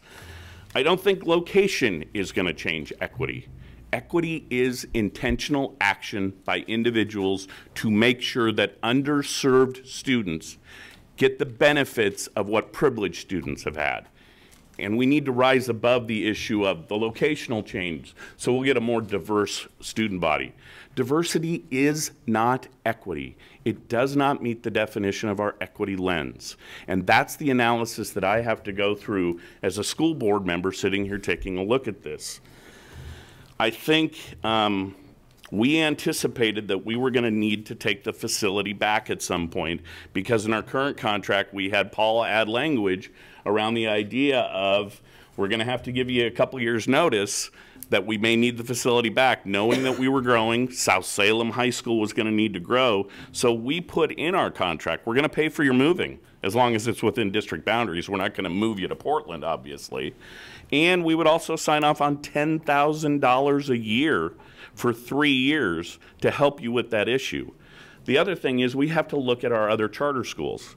We brought all charter schools to 85%. That's more than the state minimum required. Currently, for a K-8 school in the state, it's 80% of your general purpose grant per ADMW. We in the Salem Keizer School District believe in our charter schools, and we give them more. We give them 85%. We had them at 100, now everybody's at 85. If we do this for Howard Street, I think the Optimum Learning, J-GEMS, everybody will come to us for that. And I don't think, as a school district that has to look out over 45,000 students, that makes the best sense. I think what you're doing with your students at Howard Street School is fantastic and great, and I wish I could support it. But looking at it through the equity lens, looking at it as I've got to look at it across the school district, you're asking us to finance your loan. We've told other entities that no, we won't do that as a school district. We need to use our resources for the benefit of all students in the school district. And one of the questions that I asked you was, how much do you have in reserves? Your current budget is $1.2 million. You have 50% in reserves. No other school in the state of Oregon that I'm aware of has 50% reserves. We're lucky in Salem-Keizer that we have about 7% reserves on a $1 billion budget. And when we have something happen in this school district, we have to dip into those reserves. And we all know that there will probably be another recession coming in the state of Oregon and across the United States. And we have to be able to meet the needs of all students in the district. I'm sorry at this time when I look at it through the equity lens, when I look at it financially, taking in all students in the school district, I just simply cannot support this. So Jim, I'm going to have to reply to some of that myself, and then I will get you, Chuck. I also have a comment I'd like to make with the whole board. Okay. And one of those is, I've heard equity, equity, equity. And the way we're looking at equity is slightly different than the way you looked at it 20 years ago. Then it was a matter of enrollment. But you're arguing that each school must be given the same as charter schools. The same as not equity, as you've pointed out. Some needs are greater than others. Some populations are greater. So I'm not going to look at that part of it in that manner. And Madam Chair, that's your prerogative. I'm looking at the equity lens that this board has adopted. That may be, but I don't, well, I won't, I won't argue, but I see it slightly different than you do. Thank you. Just a minute. Uh, Chuck, you've been waiting. You know, I've, I've found the whole conversation a little confusing, and it's almost like we're looking at, are we going to renew the charter for Howard Street in a way? Um, to me, the issue really revolves around the request for the extra funds. And uh, I think that uh, this isn't a time to debate um, whether or not their admissions policies are appropriate or whatever. It's more of a financial situation. I love Howard Street for a lot of reasons, and uh, they do great work. But I also have to look at the entire district and what we're doing. And uh, I, I agree that if we approve this, we're going to have every charter school coming back for the uh, 100% funding. And so I'm going to be voting no on it, not because I don't believe in Howard Street, not because I, I feel like uh, uh, this is a referendum on equity or whatever. It's just a matter of resources that we have as a board and the long-term effect of doing that. I've been in private education for a long time and uh, 40 years and have worked to find a variety of ways to finance education outside the public school system. And I would offer my uh, advice and, and help to Howard Street to, to find alternative ways of funding uh, this shortfall. Um, but uh, I just feel as a school board member, I have to uh, look at the bigger picture. And please don't interpret that as uh, a guy who is uh, not in favor of Howard Street. Mr. Dakopolos? Um, Just for the board's consideration, as you, as you debate this motion, the reason that I suggested that you in- include some language about figuring out the contract language, I, I want you to understand th- their proposal for the finances. So, right now, there is a contract. It's 2018 to 2022, and in, and that is the only contract that exists for you to modify. The issue is, the proposal has a 15% additional ADM, which they call the direct, or district relocation transition contribution. Uh, Education needed another acronym, and you've got it tonight, I guess. Uh, But then, for, so, so the process would be in 2022, um, sometime in January, per your policy, you'd have to be considering a contract renewal for there to be a new contract. So it's a five-year contract, and it can be five years or seven years. So let's just assume that the contract renewal is five years. So we're talking about a contract for 22, uh, 2022 to 2027, in which there's a 12.5% additional ADM. Well, we don't have that contract yet. Uh, And uh, unless you all get reelected for uh, several more terms, you won't even be here deciding that contract renewal. The third contract renewal is, and let's assume that the second contract is a five-year contract. So now in 2027, there's a 10% additional ADM for, for that five-year term. Now we're in the 27, 2027 to 2032 school years. Uh, And so the, the proposal is to amend the current contract for the f- additional 15% for the 100% floor, or the ceiling, I guess they call it.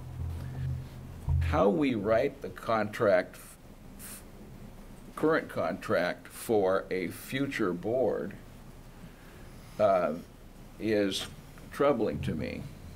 Uh, At most, I think you could say it, that the board's intent in the current contract is essentially for a 10-year window in which uh, uh, additional monies are provided, but it, i- and you would be essentially asking the, the next board who considers the contract renewal to stick with the plan.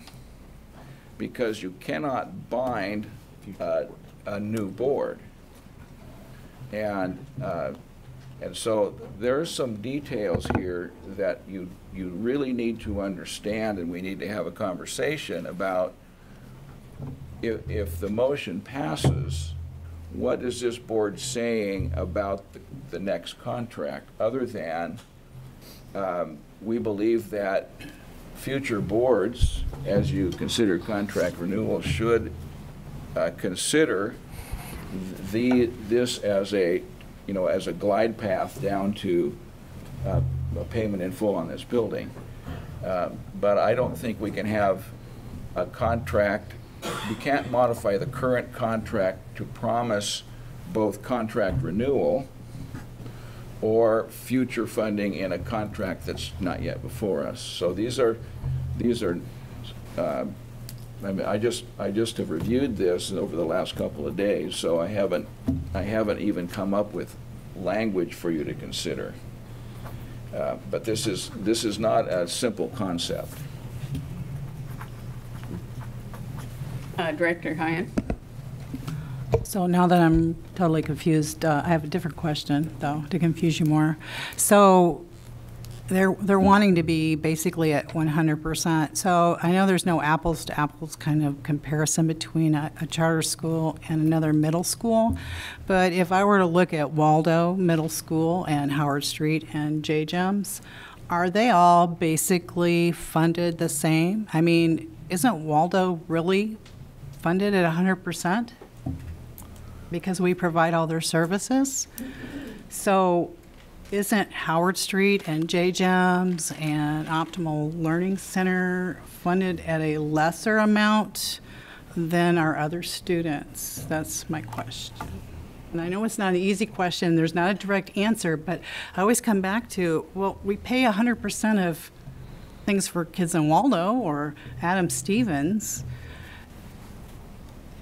I don't think you would see, I don't, there's not a direct, that's a hard one to answer. But you 'cause it's- understand, Yeah, the it's money like- all comes to the district and it's used for infrastructure of the district and transportation and food service contract and.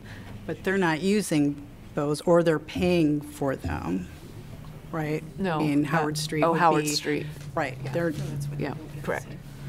May, may I? Yeah. So thi- this board has, a- uh, as Director Green said, a long history with trying to figure this question out. And, and this board has debated the question of i- i- the legislature's wisdom in the funding formula uh, of 95% for uh, high schools uh, and uh, K-8 uh, at 80%. Um, At one point in time, this board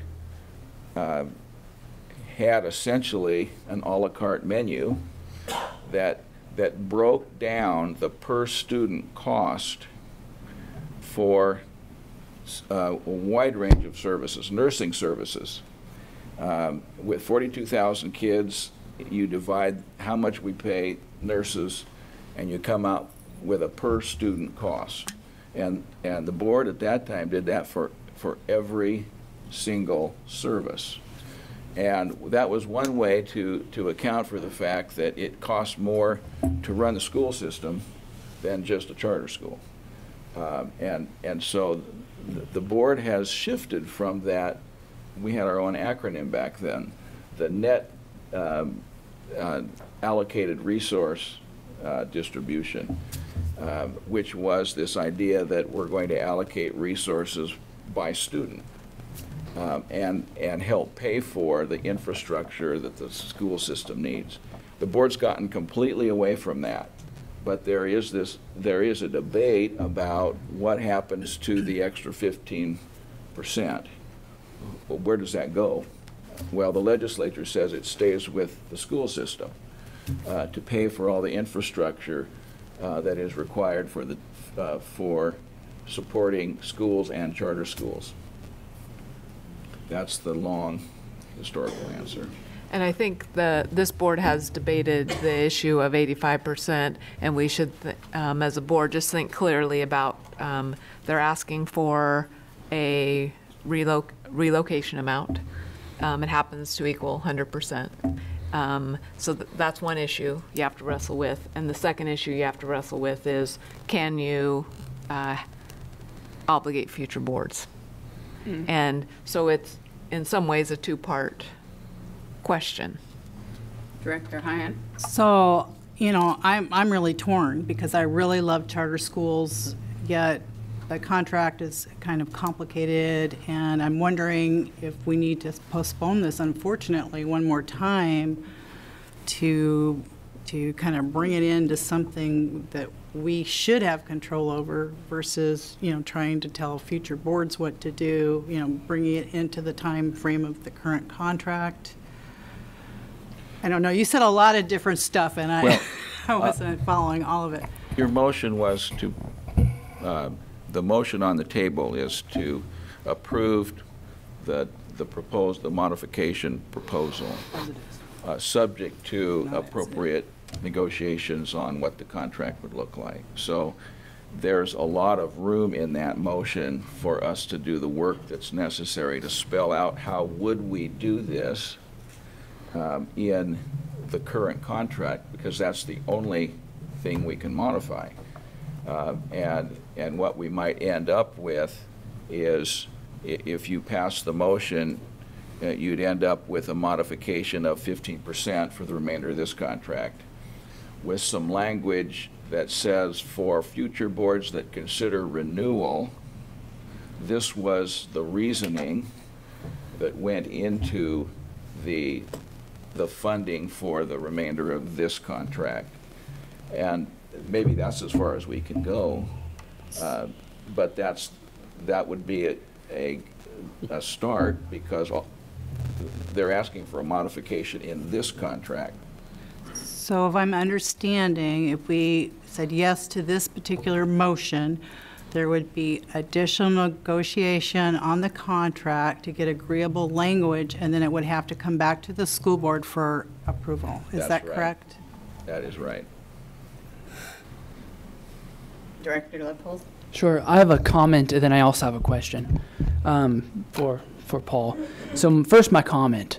Uh, the first thing I want to say is um, when Director Green mentioned the equity lens, uh, I would like the community to know that it was. I would like to say that everybody would look through the equity lens. Myself, when I was looking through it, um, I saw Howard Street. Everybody, uh, ev- everybody here would agree that they've done excellent work with the students that are in the school. Um, I think we could all be in agreement there. Um, and then, so we, if we can agree on that, and if it's kind of general consensus, the fact they were in South Salem and they kind of viewed as a South Salem charter school, because that's kind of where they were, that's where a lot of the students went.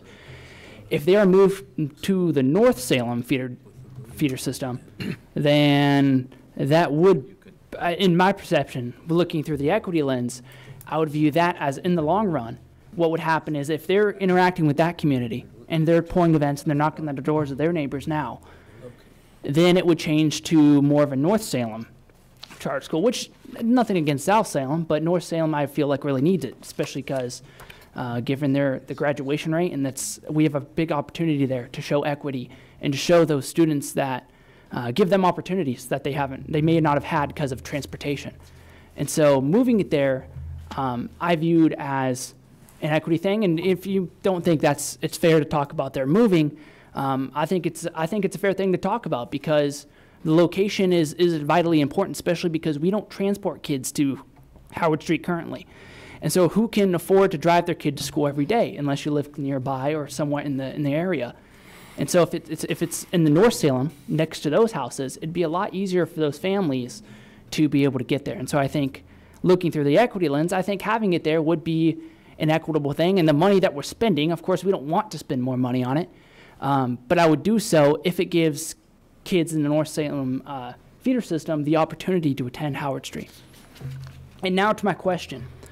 Um, now that we've talked about the equity lens a little bit and just kind of that perception, um, my question for legal standing wise, if we do approve this, and let's say um, the 2018 through 2022, something that we can, that one's kind of, it doesn't seem questionable. Are you, are you talking about the B and C on the uh, item two on the list? um, is it possible if we did approve it for those to be looked at and if for some reason it would create some sort of liability or something that we could take those out or if we approve it is it too late I'm not sure I understand the- Okay, my- the question. Could I guess- it? Yeah, I guess my question is, if we approve this, would it be open for the district to negotiate the terms on this um, in a way that would either A, of course, be legal, and then two, um, make sense? So that way we're not uh, obligating future boards. Does that make sense? If you approve the motion, you're approving the concept of three different contracts, only one of which you have control over. So somehow we would have to build in language in the contract that, that this is, the, the goal of the, this board for future boards' consideration is this kind of a glide path for the retirement of the debt.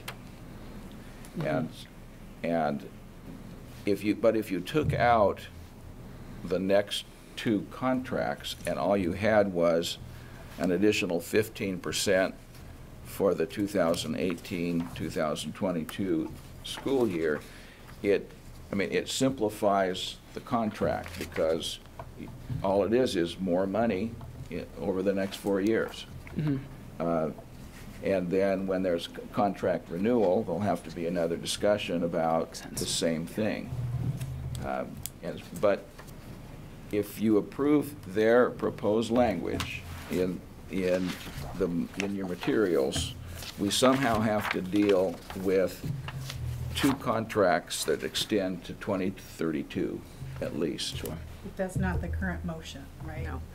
Well, the current motion is there to, uh, as I understand your motion, is to approve their modification, subject to negotiating appropriate language. Right. And So their, that pro- could be- and their modification is essentially a 10-year, well, more, more than 10 years, um, uh, modification. It So- includes th- essentially three contracts. So Do we need another motion to amend the motion? To make it Well- one, to make it one, you know, until the end of this contract? I can't make amendments. No, but I'm wondering if, do we, if we need another one to keep it within the term of the current contract? Well, I think your options are to um, approve only the fifteen percent increase for the term of this contract with no other language relating to what would happen in the future. If, if that's what you're asking. Director Light?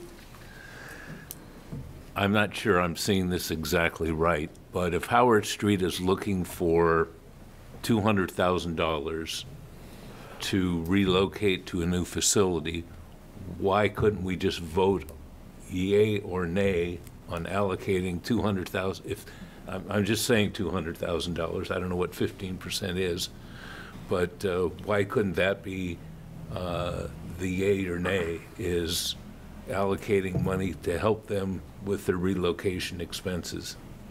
And I'm not sure that would really help them, but I'm just saying that that might make it a, li- a lot cleaner if that was what we were really looking at. They, they have a proposal that's tied to OFA. Uh, OFA, so that, which, we're not part of that deal. So they're, they're tied to a transaction which requires them to show a certain level of income for a debt service payment. That's, that's the, the math formula. And so I don't know, I don't know if that helps the problem. I, I don't know enough about the re- relationship with the, with the debt service provider. And I know nothing about any of it. I'm just trying to find a, a simplification that doesn't tie up future boards. And, uh, Yeah. and I'm not saying I'd be in favor of that either, because that's another whole set of issues. Uh, will we start getting other groups coming in asking for two hundred thousand dollars? So, but I just throw it out. So, I don't know, if- did Paul, Paul, did you have your hand up? Nope. So I'm going to, so I appreciate the, the discussion and what you raised, but, uh, you know, this does go back to funding debt service for them over a very long period of time. And I do believe that this opens us up to other charters coming and asking for um, an increase to 100%. We just reset all of our charter schools to 85 uh, to be a little more equal across the board. And I just, I struggle with this because I really, really like Howard Street Charter School. And the things that you do are absolutely amazing, and the testimony that we heard and the success of the students.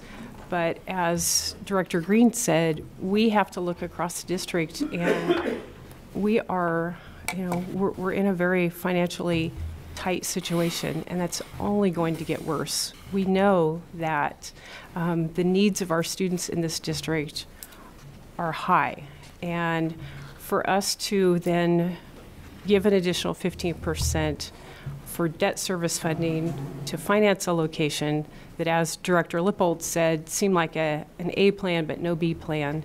You're, I feel like we're being kind of backed into a corner to finance a particular move when we know that we have financial needs across the district.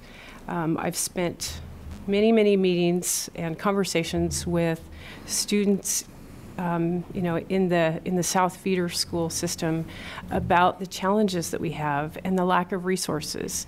And I just can't. And it's you know this the equity issue aside, and I'm glad I'm glad that's come up, but I just can't approve another 15% for a charter school when we know we have so much need in this district and we know that the need is increasing and that our resources are not growing.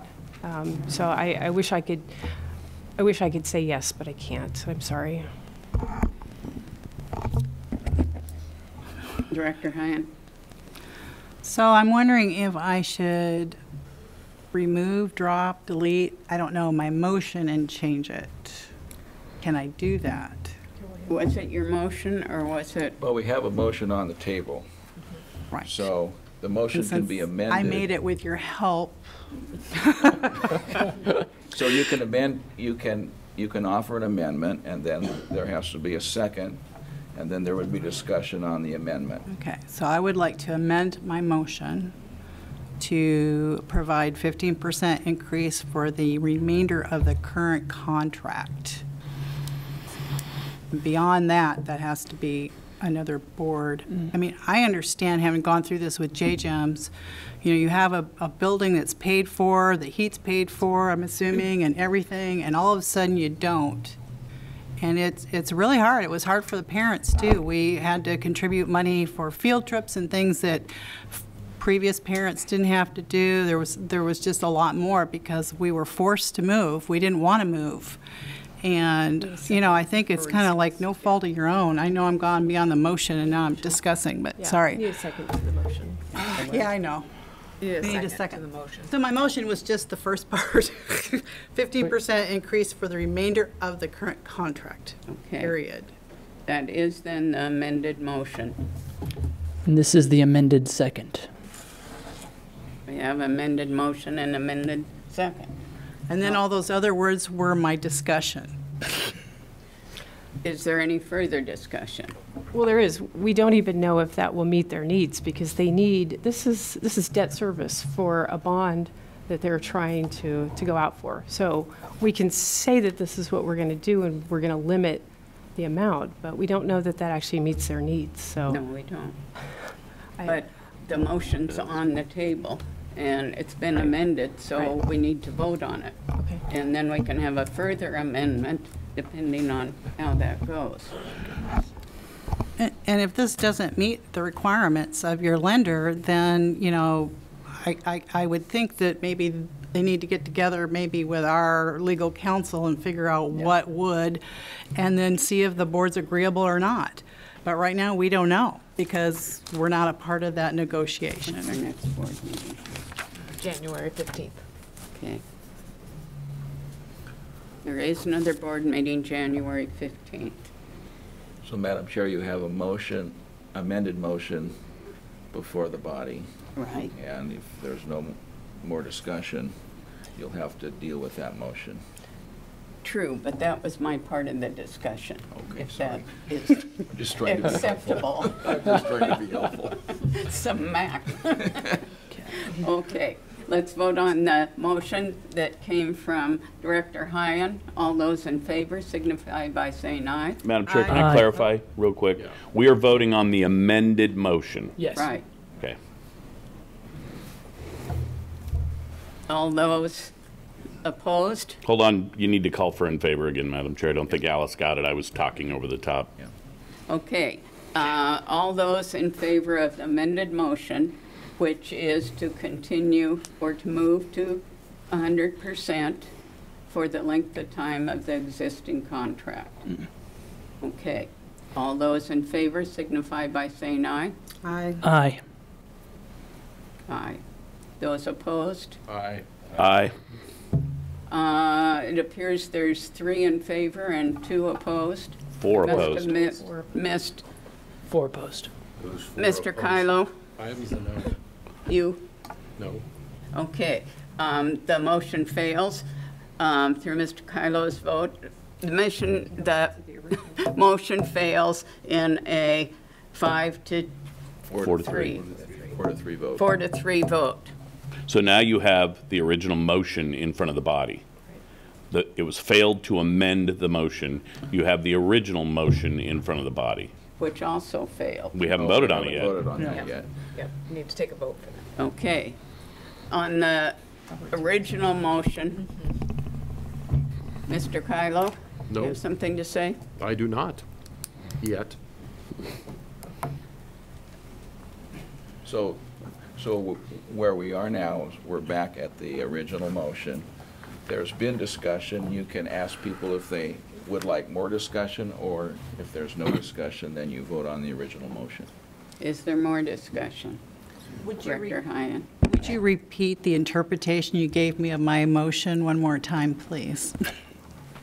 Your motion is to approve Howard Street's proposed language in your action item, which covers um, three contracts, uh, both the current contract and any additional following charter agreement at 12.5 additional ADM, and 10% for a subsequent charter agreement after that, subject to successfully negotiating the legal issues uh, uh, to be approved by the board. I'm not going to repeat that. Does every director understand what we're voting on? So my question is, basically, we could end up where with the motion that we just voted down, No, you're after you ending do up the with- negotiation. You're ending up with your original motion, which was to, uh, which was to approve Howard A- Street's After you proposal. talked to them, though, you said with contract changes to make it within our rules. So wouldn't that, in effect, end up being kind of the motion I made, the amended motion? Wouldn't that be kind of where we would probably end up anyway? It would include your amended motion because we would be dealing with the current contract. And then we'd have to do something in the current contract that speaks about future years. That's in essence what we'd have to do. There's some other technical things I haven't bothered to bring up tonight on how, how we, to make this happen, uh, which is not important for the purpose of your motion.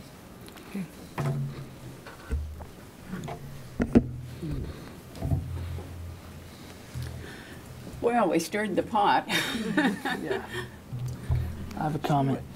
Director Lippold, we first need to, let's go ahead and act on Mr. Dakopolos' motion. That everyone said they understood. And then we'll go back and if there is another motion, No, that's done. I think the record That ought to would be reflect done. it's actually Director Heyen's motion. Yes. Heyen's Oh, yeah. motion, it's not, I'm sorry, um, Paul, you can't make motions for the body. already revealed But I that. think we understand that what the motion is, and it's actually Marty's motion. No, but you can only amend the motion, so we're not going to be able. Yeah. If we vote, we're not going to be able to go back and make another motion. You either amend this one again, or we, or we vote. But Or we've have- already amended it. You can, I mean, there could be an entirely new motion, but we're not, th- we're not there yet. All we're, Yeah. we have the motion we have. Okay, there's motion on the table. All those in favor signify by saying aye. Aye. Who, that, Director Heyen? Mm-hmm. All those signifying their negative vote by saying no. No. No. No. Hmm. The noes are recorded as to uh, Director Kyllo, Director Lee, Can I comment now? Director Blaze, Blaze Blasey, Director Lippold. Were you a no? I was a no, yes. Thank you. And I was too. Director Green. So at this point, it's five to two. And the motion fails. Five to two or six to one? Did, Chair, did you vote? She did, okay. She voted. Yes. Five to two, so I'm in there on the no side. No, you're on the yes side. The yes Or the, yes. Uh, No, I'm on it on the no because I thought that was. Six to one. I'm the only one So that it's voted six to yes. one then. I'm the only one that voted yes. Okay. Six, two, one. For our board secretary, the one being uh, Director Heyen, all the rest were no. Where do we go from here? Do we want another motion? Well, it's up to the board. If you have another motion, it can be made relating to the Howard Street proposal. If not, you move on. I would say. If not, how about we take about a five-minute break Yeah. before we go on to our next action item, if that would be okay with you, Madam Chair? It would be. Thank you. I will lead the crowd. Maybe we should make a motion that we add a third floor to South. We need to move back into That is really cool. That's a cool. our meeting.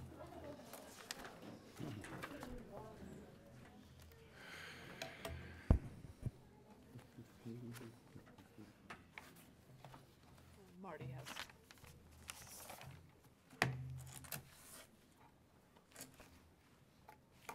All right.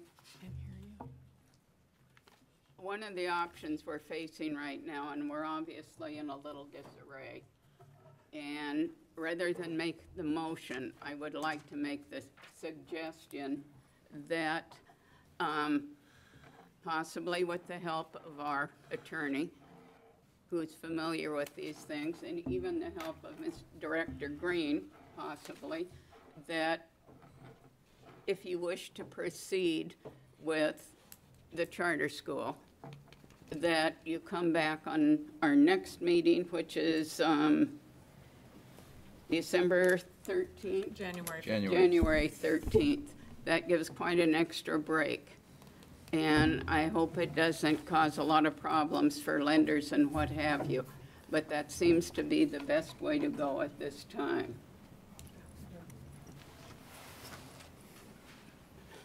Yes, Mr. Kyllo? I'm, I'm, I need a clarification on what you just said. I said they may come back and we... That was, that was, no, the preface to what you said was if they want, if the charter school wants to continue. Do you mean with this process or continue as a charter school? The way it was stated, it could have been either way, so I would like some clarification because I will be I don't to believe we voted to close Howard Street.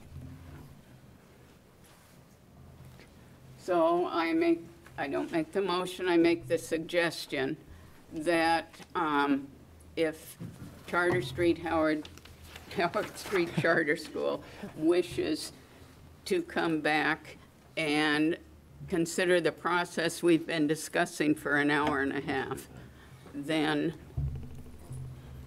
they're free to do so, and we'll make room for on your, on our calendar for December 13th, January 15th. 15th. January, January 15th. I want people to know, three people have told me it's the 13th, so I better not see them. But it's in January 15th. Yes. We don't have another meeting. Mar- uh, I'd just like to make one more comment based on our previous vote and all the discussion. I was incorrect on one particular thing. Uh, Howard Street was asking for up to 15%, not always 15%. They plan to do fundraising to earn as much of that money as they can on their own, which I really appreciate. And it wasn't plan A or B for them. This was plan D or E. They had looked at lots of different options. And so they really have done a lot of work on that, and I really appreciate that. And I just wanted to put that out there. Well, I think, well, I have a lot of trouble really crowding an operation and organization that I think is doing a wonderful job. So I do hope you return. So next thing on the agenda is the superintendent's reports. Ken? contract. Superintendent's contract. Oh, the superintendent's contract. So I, I am responsible for some initial discussions on this as the board's legal counsel. I'm responsible for helping board leadership draft the original contract, contract amendments. And so I have uh, been assisting uh, board leadership in uh, redrafting some portions of the employment contract between Superintendent Perry and the school board. Just by way of history, this board unanimously extended the last contract. And the only thing remaining to be decided was some compensation issues. And so the board's already voted to extend this contract um, last March unanimously. And, and so at this point, I'm just going to point out to you some of the changes. Um, uh, Section 1 the term changes because we now have a 2018 to 2021 contract, a three-year contract, just like the last contract. Um, So that's a change in section one. Section four, the the salary provisions are identical. Uh, But what we did, and I, I want to thank Alice Struckmeyer for all her work on this, because she actually read through this with such a fine-tooth comb that we found some typos that I'm not going to mention tonight. Uh, But thank you very much for your help with this.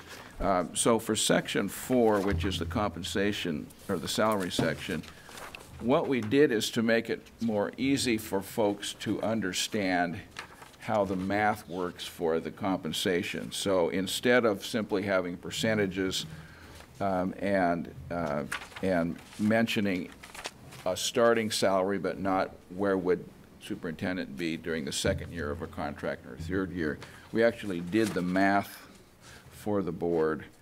Um, But this is not a change in compensation. This is the same compensation schedule that you approved by extending the contract in March, but you just have the numbers here to help explain it. Um, Another change was in um, uh, Section 11, the fringe benefits, um, what we did is to delete uh, a sentence relating to the tax sheltered annuity, uh, which improperly inferred that this, that the superintendent would be uh, responsible for any payroll costs associated with that, where in fact, a tax sheltered annuity um, is tax sheltered. Uh, And so we deleted that language because it was um, not, it was not correct with respect to the tax sheltered annuity plan. And we added this last sentence about the $250 a month um, in-district uh, car allowance.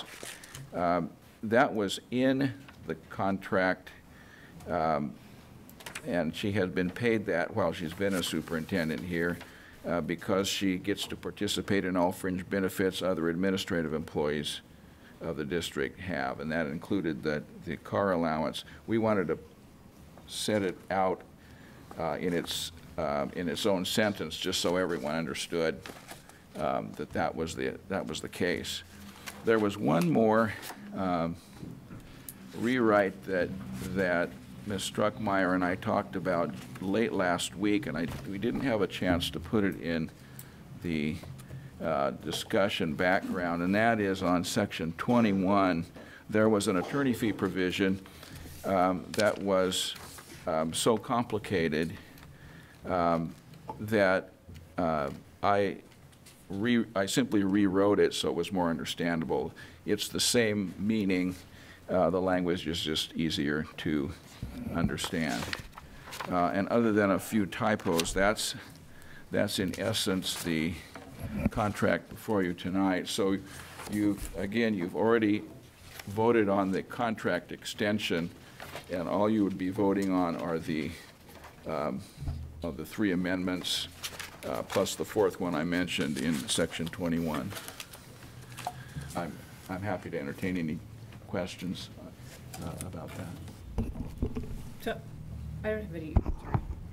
I don't have any questions, but I did want to speak to this because um, Chair Goss and I negotiated uh, the terms of the contract with the superintendent and then ran it through legal, and we also discussed it with each individual board member. And I want to point out one thing. The superintendent did not ask for any changes in her contract.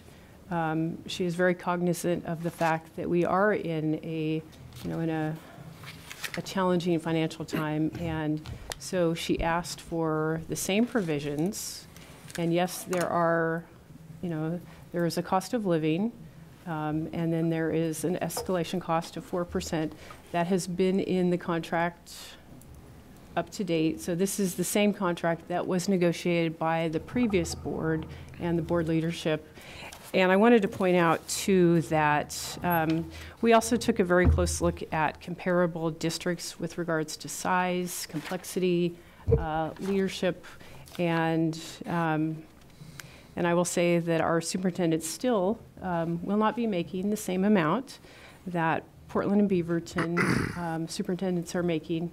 Um, Beaverton being a slightly smaller school district, but again, I think she was very cognizant of our, our current financial situation and was respectful of that. And, and I, I respect that she was willing to, um, you know, just ask for the same terms and conditions um, for the next three years. Any other comments? I have a question. Jim has a comment. Uh, Director Green? Uh, Paul, under section four, I think you may have missed one of the typos. Third paragraph down. It's the Oregon Public Employees Retirement System. I'm sorry, you're right. That's the only comment I had, other than when we make that's the motion. in section four as well. Yeah, it's the, PERS is the Oregon Public Employees Retirement System. All right, uh, someone else had a comment, or? Yeah, yeah, I, I would like to say something. So, uh, first, I want to thank Christy for everything that she does. I mean, she puts up, um, I mean, first off, she puts up with all of us, so that's cool. And then, um, I mean, just the, the amount of uh, hardships our community has and the uh, diverse population we have and everybody being so passionate in our community that like we are, um, it's an enormous responsibility to take on um, as a superintendent of the Salem Keizer School District. And so I just want to, first off, just thank you for that. Um, just say that, um, I mean, theoretically, if we had enough money to do everything, I mean, we'd give you a raise, we'd do every, everything else we could to help our students, right? We'd do everything, uh, ev- everything that we could. We'd fully fund education. Uh, I mean, of course, with the times that, with the way things are, I mean, of course, maybe not all of that's possible. Um, but secondly, I, I would like to ask the question of, um, just really quick, I'm, I'm just wondering procedurally, um, because we don't really know what the budget is in, for the next few years, and so I'm wondering why we're doing it right now. Is there, is there a reason? I'm assuming there is, I just Well, want to know. there's a reason. We're in the third year of the contract. Okay. And we had hoped to get this done um, in, you know, in March uh, of the second year. And now we're in Okay. December of the third year. Okay. So, uh, Her and there's a contract three-year ends in six contract. months. Got it, so we're just super late on, on getting it done. That makes sense. So, Madam Chair, I would move uh, approval of the proposed contract for the superintendent as presented with the one change, and maybe if there's other typos caught, but I would move uh, approval of the superintendent's contract as presented. Second. I'll second that. It's been stated, uh, it's been, motion has been made by Director Green and seconded by Simultaneously, Director Lippold. Stereo. Director Lippold's been very busy tonight, No, so Chuck we'll gets it. expect, we'll accept Director Lee's second. Madam Chair, if I could just offer a couple of comments real quickly. One, I want to thank you and Vice Chair for sitting down, negotiating, and going through this. I've done a superintendent's contract as chair. Um, It's a, you try to strike a balance, and you're trying to represent the district as a whole while still trying to keep a superintendent employed. So I know it takes time, I know it takes effort, so I want to thank both of you for that. When the public looks at our contract, they're going to look at the number, and that's what's probably going to be reported in the press. And I would like to say that if you take a look at an entity that is as large as the Salem Keizer School District, with as many employees, with a billion dollar budget, operating a transportation system that is second in size to TriMet only in the state of Oregon, I think it's the third or fourth food operation program in the state as well. Um, and trying to deal with all the issues of being a public entity and how many hours I know Christy puts in on the job. Um, I, I don't think her salary actually reflects the value of the work that she does. So I just want to say I appreciate what Christy does on behalf of the district. I know the public will look at that and go, well, she makes over $200,000. But look at the entity that we have put her in charge of. And it is a huge operation, and it has multiple facets that come and go out of this school district. And also, we put her in charge of providing educational services to over 45,000 students in the second largest school district in the state. And I think she's done a very good job, and I'm glad that she's willing to accept the contract. And again, Madam Chair, Madam Vice Chair, thanks for your work on this.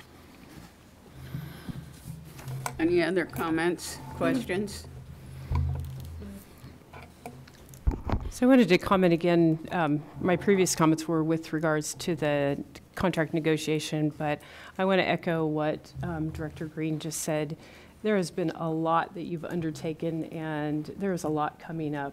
You know, you were incredibly instrumental in passing, you know, a $620 million bond so that we can address capacity issues in this district.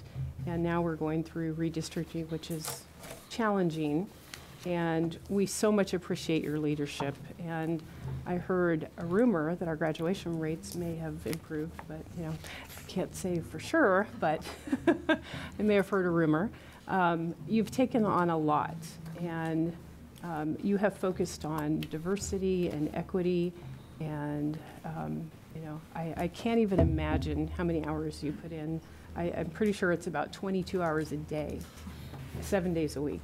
So I just wanted to thank you, and thank you for, for accepting, well, you haven't accepted it yet, but please accept it. So I also would back up all those comments. And I would say again that when the district made the choice to hire Christy Perry, it was a wonderful one. And we put out all kinds of feelers and we did some national searches.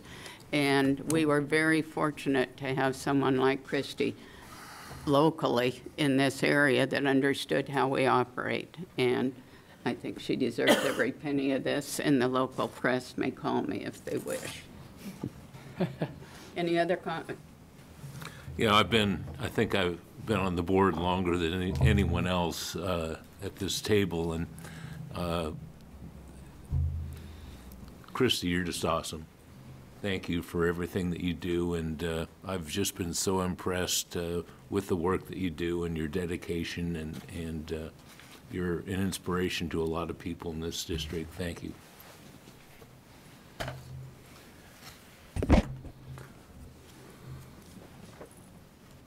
We need, Director Heyen?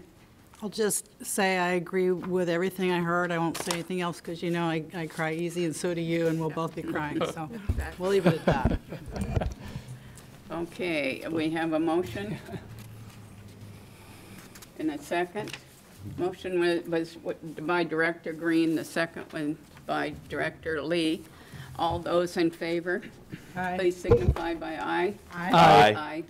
Any opposed? Aye. All right, we have unanimously, not unanimously, but we have passed this on a six to one vote. The next section we need to go to is the consent budget. And um, the first, the first section of the consent budget Consent agenda. Consent agenda. Consent calendar. Does anyone wish to pull an item from the consent calendar? calendar? Director Blasi? My apologies. Turn to it very quickly. Um, I w- was going to ask that the superintendent speak briefly to our secondary education funding for uh, career pathways. Um, when I first read this, I wasn't sure if it was, you know, our um, measure $98 or, um, so I was hoping for a little clarification on these funds. I would move adoption of the consent calendar other than item G18, P1, secondary career path funding on grant budgets. Second. We have a motion by Director Green and a second by Me. Director Kyllo. All those in favor? Aye. Aye. All those opposed? Seeing none, we pass unanimously on the acceptance of grants. We have the one that was pulled, though, Madam Chair, before us. Director Blasi had a question of the superintendent. That's right. All right, so you've uh, passed the uh, personnel actions, and I'll move us on to the um, grants. So the secondary career pathway funding, um, this year's a total of $271,000. And um, this is specific to our uh, state-certified CTE programs, and it is meant to incentivize programs to be certified and to uh, have uh, college credit attached to their program, so an articulation to a college program, primarily community college, and then also to serve our underrepresented um, students. So uh, there's a point system awarded by ODE, so this is different than Measure $98. And each of the programs in our district, you can see uh, the dollars um, that they're getting. So construction trades, for example, at our career technical education centers uh, earned through that point system uh, over $14,000. And um, each year, we see the CER programs get additional dollars, and the way we uh, allow expenditure of these dollars is back to those programs. So our uh, CTE coordinator, the CTE teacher, and the principal make some additional investments in those programs as a result of these dollars. So it really speaks to our comprehensiveness of our career technical education programs and that they're sta- uh, state approved, clearly articulated with the community college, serving our underrepresented uh, students, and there's a certain number of coursework in it. So that's uh, this particular grant. Further comments? I'd move adoption of that particular grant. Second. Seeing no more discussion, is there a, mo- we have a motion by Director Green. Is there a second? Second. Director Kyllo. Director Kyllo. Uh, Seeing no no more, we'll vote. All in favor? Aye. Aye. Opposed? We passed the, the, accept, the grant issue. We'll move on to, you mentioned personnel actions. You've That already we've completed done that. those? Okay. Um, Readings, we have none this evening, but we do have some reports by the superintendent. All right, so our first report is executive limitation number seven, budget and financial planning. And I just want to um, kind of gear you to some uh, changes um, from last year's report. So under number one, the district uh, estab- board established priorities as established by the results policy. This is our evidence of compliance, and we went back to our budget message from last year where we had investments in behavioral learning, uh, the approved math curriculum, uh, level of stability of staffing and resources to grow our graduation rate and invest in student health and special education. So that's uh, demonstrates to you how we've worked through the budget process. Um, also, um, we number two. Our budget guide to the community is how we work to have a summary in an understandable format. You have our most recent um, budget guide in front of you tonight. Um, it's a good chance to take a look at that. And then um, also under number six, plans for expenditures for any fiscal year. Um, Just as a reminder, last year you completed two uh, supplemental budgets, one in um, as a result of the change in the funding at the legislature, and then a second supplemental because of how we approve our grants in the consent calendar each year, so you did that in June.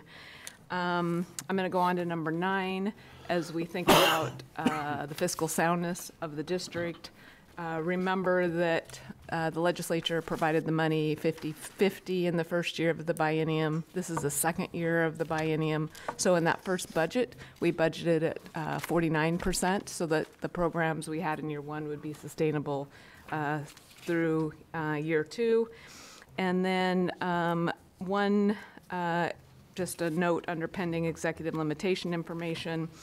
Uh, As suggested by the auditors, we have adjusted the grant approval and authorization language in the board plate to utilize clear appropriation categories such as facilities acquisition and construction.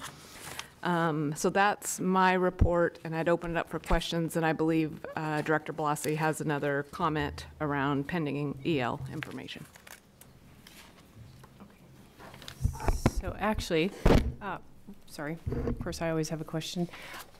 I don't know, so Director Green might know the answer to this. Under financial planning and budgeting, um, I'm, I'm curious as to whether or not this is where a discussion about um, fiscal prudence with regards to PERS liability. Um, I, I just, I want to comment that I have been very impressed with how this school district has handled the current and upcoming PERS liability, um, which is crippling other school districts.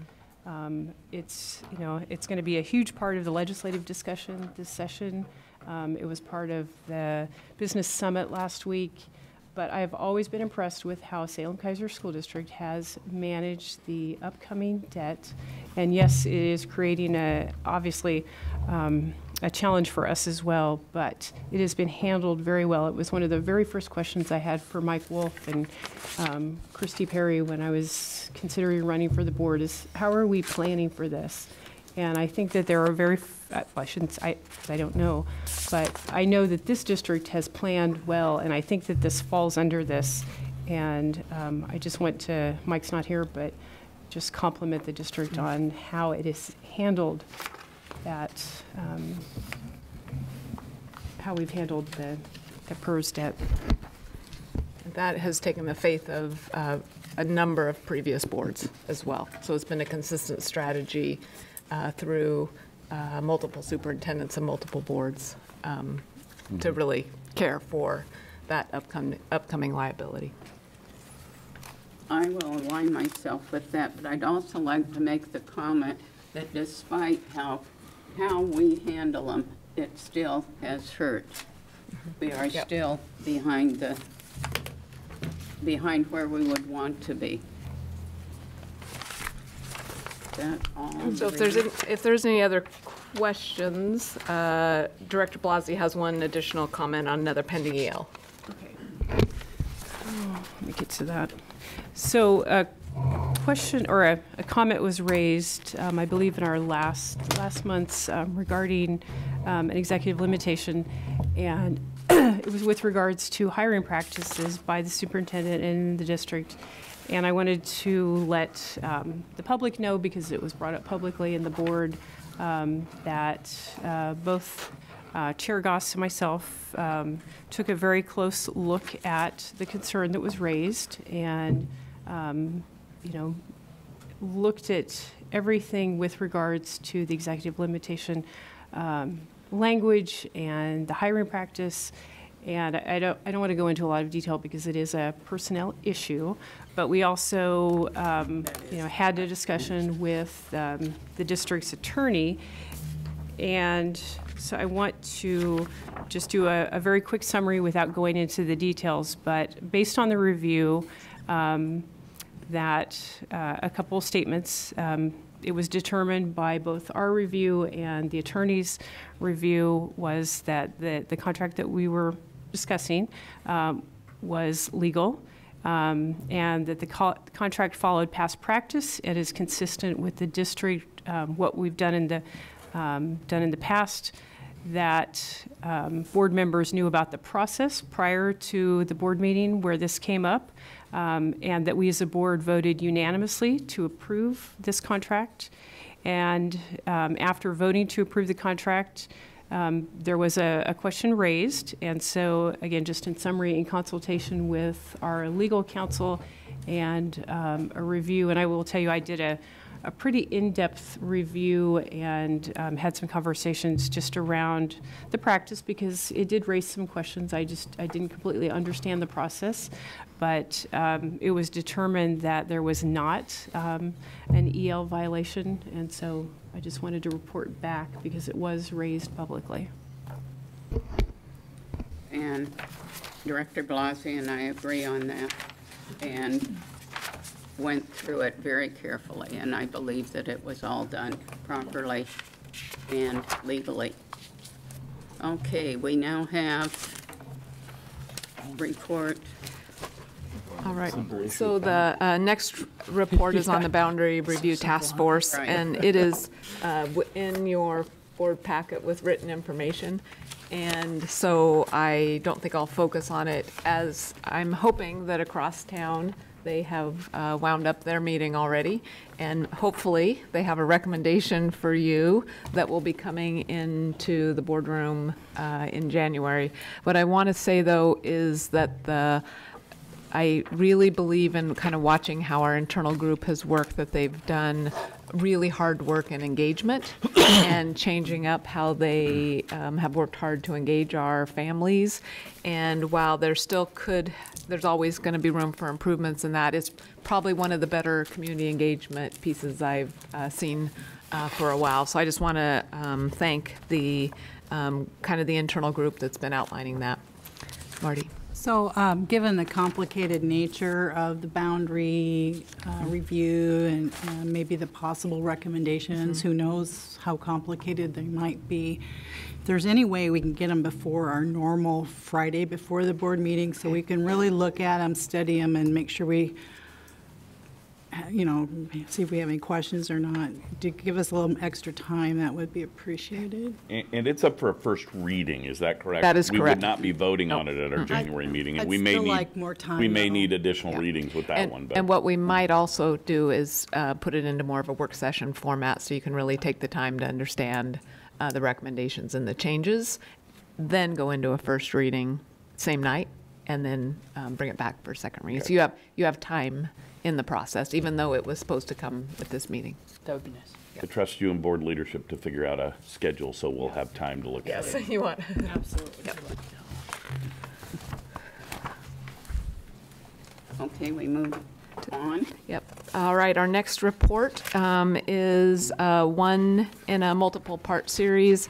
Uh, We thought it was important to begin uh, talking in the boardroom about some of our student needs. So this is just a quick um, beginning of that conversation, and he'll outline where we are and where we're headed with some additional board information.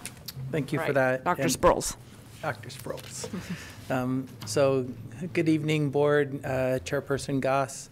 Um, And I appreciate uh, that we're talking about students at what, at what's been a very long board meeting, and I think it helps situate some of the discussions a little bit. So I appreciate um, the time given to talk a little bit about some emergent student needs that we are seeing um, coming up through the school district.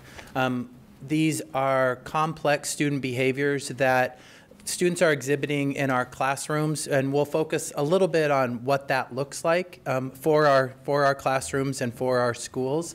Um, the most prevalent behaviors are coming with some of our youngest kids, which is something that's different than I've, I've been in education for 25 years in elementary schools for 20 of those 25 years, and it's it's it's different now than it has been in the past. And so we have some reasons for why that might be, um, but it, it means it's a complex issue.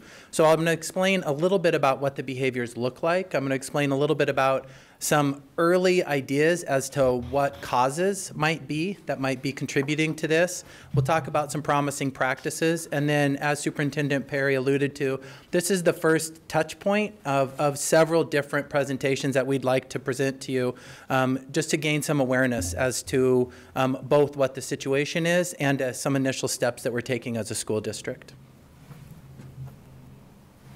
So we've seen throughout the school district an increase in both the intensity and the frequency of complex student behaviors.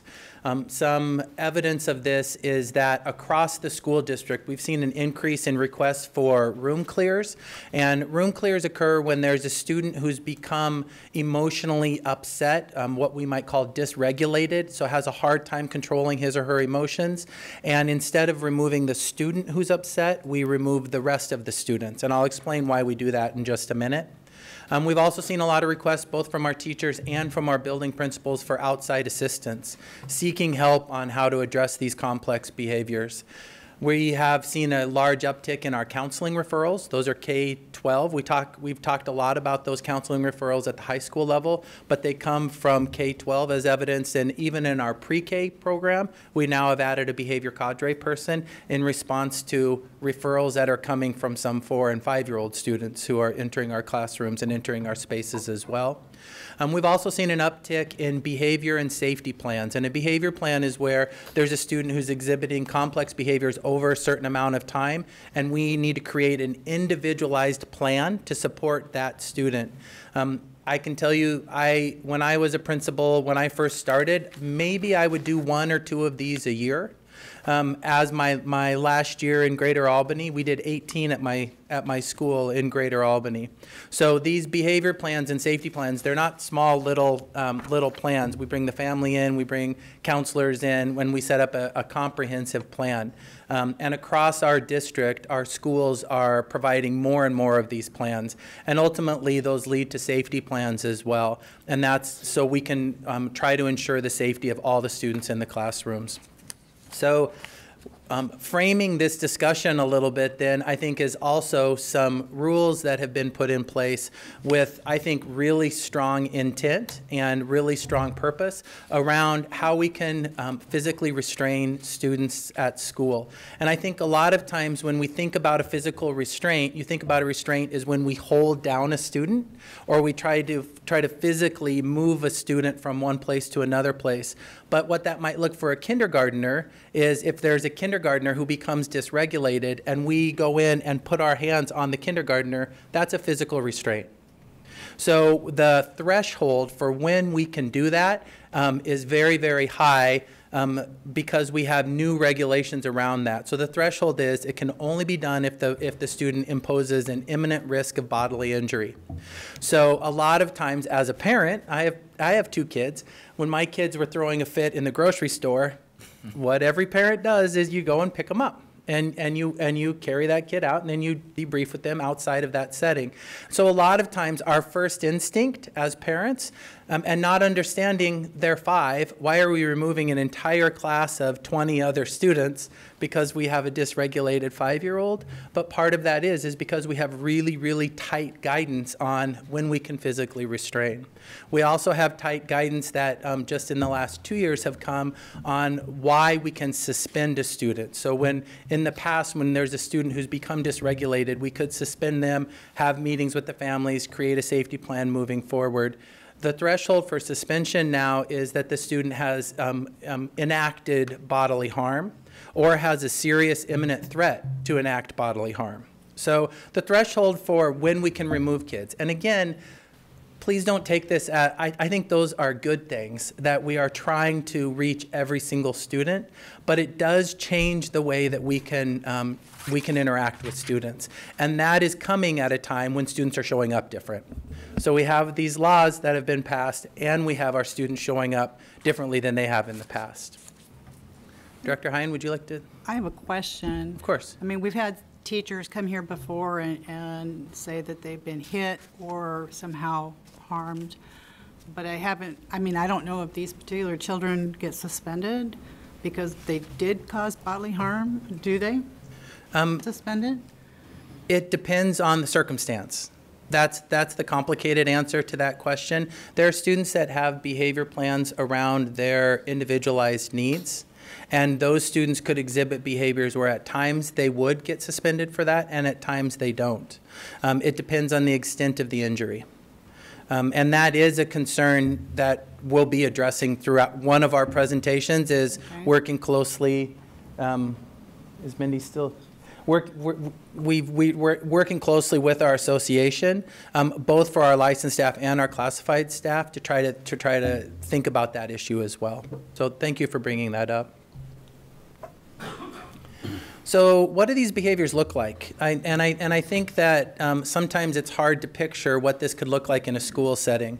So um, scientists have a long time said that there's two different ways that behaviors can be exhibited, and they can be exhibited as internalizing behaviors, and this can be a student who refuses to engage, who refuses to complete work, and basically they have difficulty connecting with others. So that's the classical student who's the middle schooler that has the hood over his head in the back of the room and has a really hard time navigating relationships.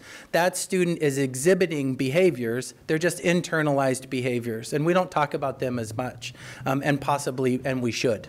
And I worry about the internalizers as much as I worry about the externalizers. The externalizers are much, much easier to identify. Um, they become easily frustrated. It can lead to physical outbursts, which can lead to physical aggression, but also verbal aggression, even with some of our students at a, at a young age. Um, they have relatively low academic resilience. And so something um, as, as innocuous as a 10-minute math quiz for someone who's in a heightened state already and is ready to, to um, not be able to maintain their emotions, something that's small like that, they don't have the resilience to complete it. And it can lead to a physical outburst, um, which again, Director Heyen, to get back to your idea, it's really hard for the teacher to know, is this 10 minute? Is this, is this math test going to be something that we're going to need to figure out and regulate? So, you know, it leads to that feeling at times. And in overall, there's a difficulty re regulating emotions, and that's that notion of dysregulation. So students can cycle up, but they have a really hard time cycling back down to a feeling of normalcy um, when they're cycled up into that state. So unfortunately, um, we are not the only school district that's experiencing these trends. There's similar trends across the state of Oregon in every school district and every school. Um, kids are showing up different, and schools are struggling with how to respond to that. Um, as you all know, we, uh, the legislature have um, gone through the state, and I, I think they had 60 committee meetings, 42 different schools and school districts that they, that they visited. Number one issue at elementary schools was how to deal with emergent student needs, particularly related to behaviors. Number two issue was safety and well-being at school. And those two things are really highly um, intermixed. So we aren't the only um, district that's, that's doing this. We are one of the districts that's trying some innovative practices that I'm excited about and proud about and proud for, and I would love to share with you. Um, just a touch point, if, if you have time sometime this week, you, you might have heard about Oregon Public Broadcasting. They're doing this, this um, ongoing radio show called The Class of 2025. And what they did was they went to a kindergarten group out in Earl Boyles, uh, David Douglas, it's out in outer southeast Portland, and they identified 27 kindergarteners that they're going to follow from K to 12. And they follow them even if they stay in David Douglas or the ones that they both hi they highlighted most recently, neither neither of them are still in David Douglas. One kid's at a school district at, on the coast, and another is a transitionally homeless student who's been in a whole bunch of different school districts. So the two boys that they studied, the class is now wrote, is now moving up into middle school. Um, one of the kids has um, experienced a lot of trauma at home. Um, has a, as a mom who was who was who he needed to be removed from the home because of some of her behaviors. So he's in DHS custody, um, and he went from a student that was struggling academically to now a student that was struggling mightily behaviorally to the point where he had to just go on tutoring and only be able to have touch points at school for a few hours a week. Um, that's the Dale story. And then the Ethan story is a student who's been transitionally homeless. And he talks a lot about um, the ongoing stress of food scarcity and housing scarcity and how that passes through our children. Um, I think they're, they're really um, interesting insights. And so if you, if, for me, it, it, it really was a touching story. Um, and I think it, it, it explains some things going on. So, what are causes for these? And, and when, we, when we go through causes, there can be, there can be children who experience um, these types of behaviors that, that haven't experienced a lot of trauma. But trauma can help explain, um, for some students, um, what's going on. And so the ACEs is a scientific framework to study how positive and negative experiences that happen at really key times. And so it's usually um, from birth to three years old. So, how ACEs in someone's life can, can set um, a path for them in the future. Now, it's important to remember none of this is predictive. So, just because um, a child experiences violence and abuse or extreme poverty, that's not a predictive life course, of course, we know that. But it is something where they need to overcome things that other kids might not. And those kids can show up to different, go up to, show up to school differently than other kids. Um, the key area for ACEs is that kids not um, feeling like they have control over their environment. They, are, um, they don't have control over the stressors that are impacting them. Um, and the notion of long term prevalent environmental stressors is what people are studying now as a particularly important um, stressor for students. So, one of the interesting things with ACEs is that it, it um, impacts socio emotionally as we might think, but there's also a ton of research out there around someone who has a high ACE score, which is someone who's experienced lots of different um, levels of abuse, also has physical um, things. It passes through their bodies differently. Much, much higher rates of asthma, much higher rates of chronic heart disease, um, much higher rates of ambulatory problems, and so tripping and falling and not getting um, care for that, and so having problems. So there's a lot of physical um, ways that these environmental stresses pass through a person. Um, and these don't stop when, when, the, when the child gets to be an adult. These are life, lifelong stressors. Um, ultimately, um, a high ACE score statistically does lead to an earlier death. So an earlier death rate. So it's a physical thing as well as a emotional and social. So this just shows as, as your ACEs score increase, um, your risk of having um, high emotional, physical, and mental health outcomes, um, negative outcomes um, increase as well. So um, that's really hard to hear. that's hard to hear for, for educators, and I can tell you, um, as a building principal, I had a really good idea how to move the dial for a kid who didn't know how to read. I, I, I have a I have a pretty pretty good idea how to do that. I have a pretty good idea how to take a student who doesn't speak very much English and get them to speak English by the time they're going through in fifth grade. I have a, I had a pretty good idea. I felt pretty confident that I can do that. Um, the, the confidence level of dealing with students that are bringing these complex needs, we don't have that same confidence level as a system because their complex needs and the answers are very complex as well. And a lot of times they're individualized, and then something changes, and then we need a new answer.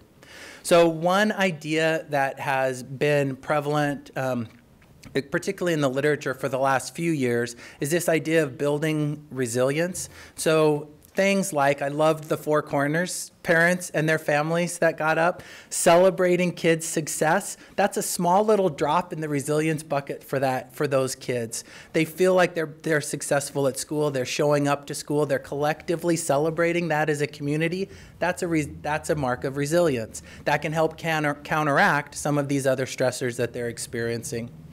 And just because you have a high ACEs score, um, most people still who have high ACEs score still grow up to, and I love that quote, they love well, they work well, they parent well, and they engage well. So it's not something that can't be overcome, but it is something that we need to pay attention to. So here are some promising practices that um, have been established.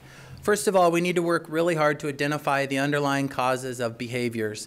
When a seven-year-old acts out, the seven-year-old is communicating something to us. They might not have the words to say, hey, we don't have enough food at home, or they might not have the words to say, I'm feeling emotionally dysregulated because the bus is so loud and I can't handle all of that input. But they're showing us that something's going on, and they're showing us through their behaviors. So thinking about behaviors as communication, as a form of communication, I think is important, and identifying the underlying causes, and then teaching those lagging skills, just like we would in reading. We don't expect a kid who doesn't read by the time they're five to read by the time they're six. But sometimes we expect a kid who is having uh, lots of behavioral issues to somehow be a different kid by the time in one year, and that's probably not going to happen. So we need to teach lagging skills over time. Um, we also know the power of nurturing relationships. Every single teacher that I've ever worked with wants to have a deep relationship with his or her kids. That's, that's why they're teachers. And one of the really difficult things is it's hard to have relationships with kids who have experienced trauma because they're distrusting.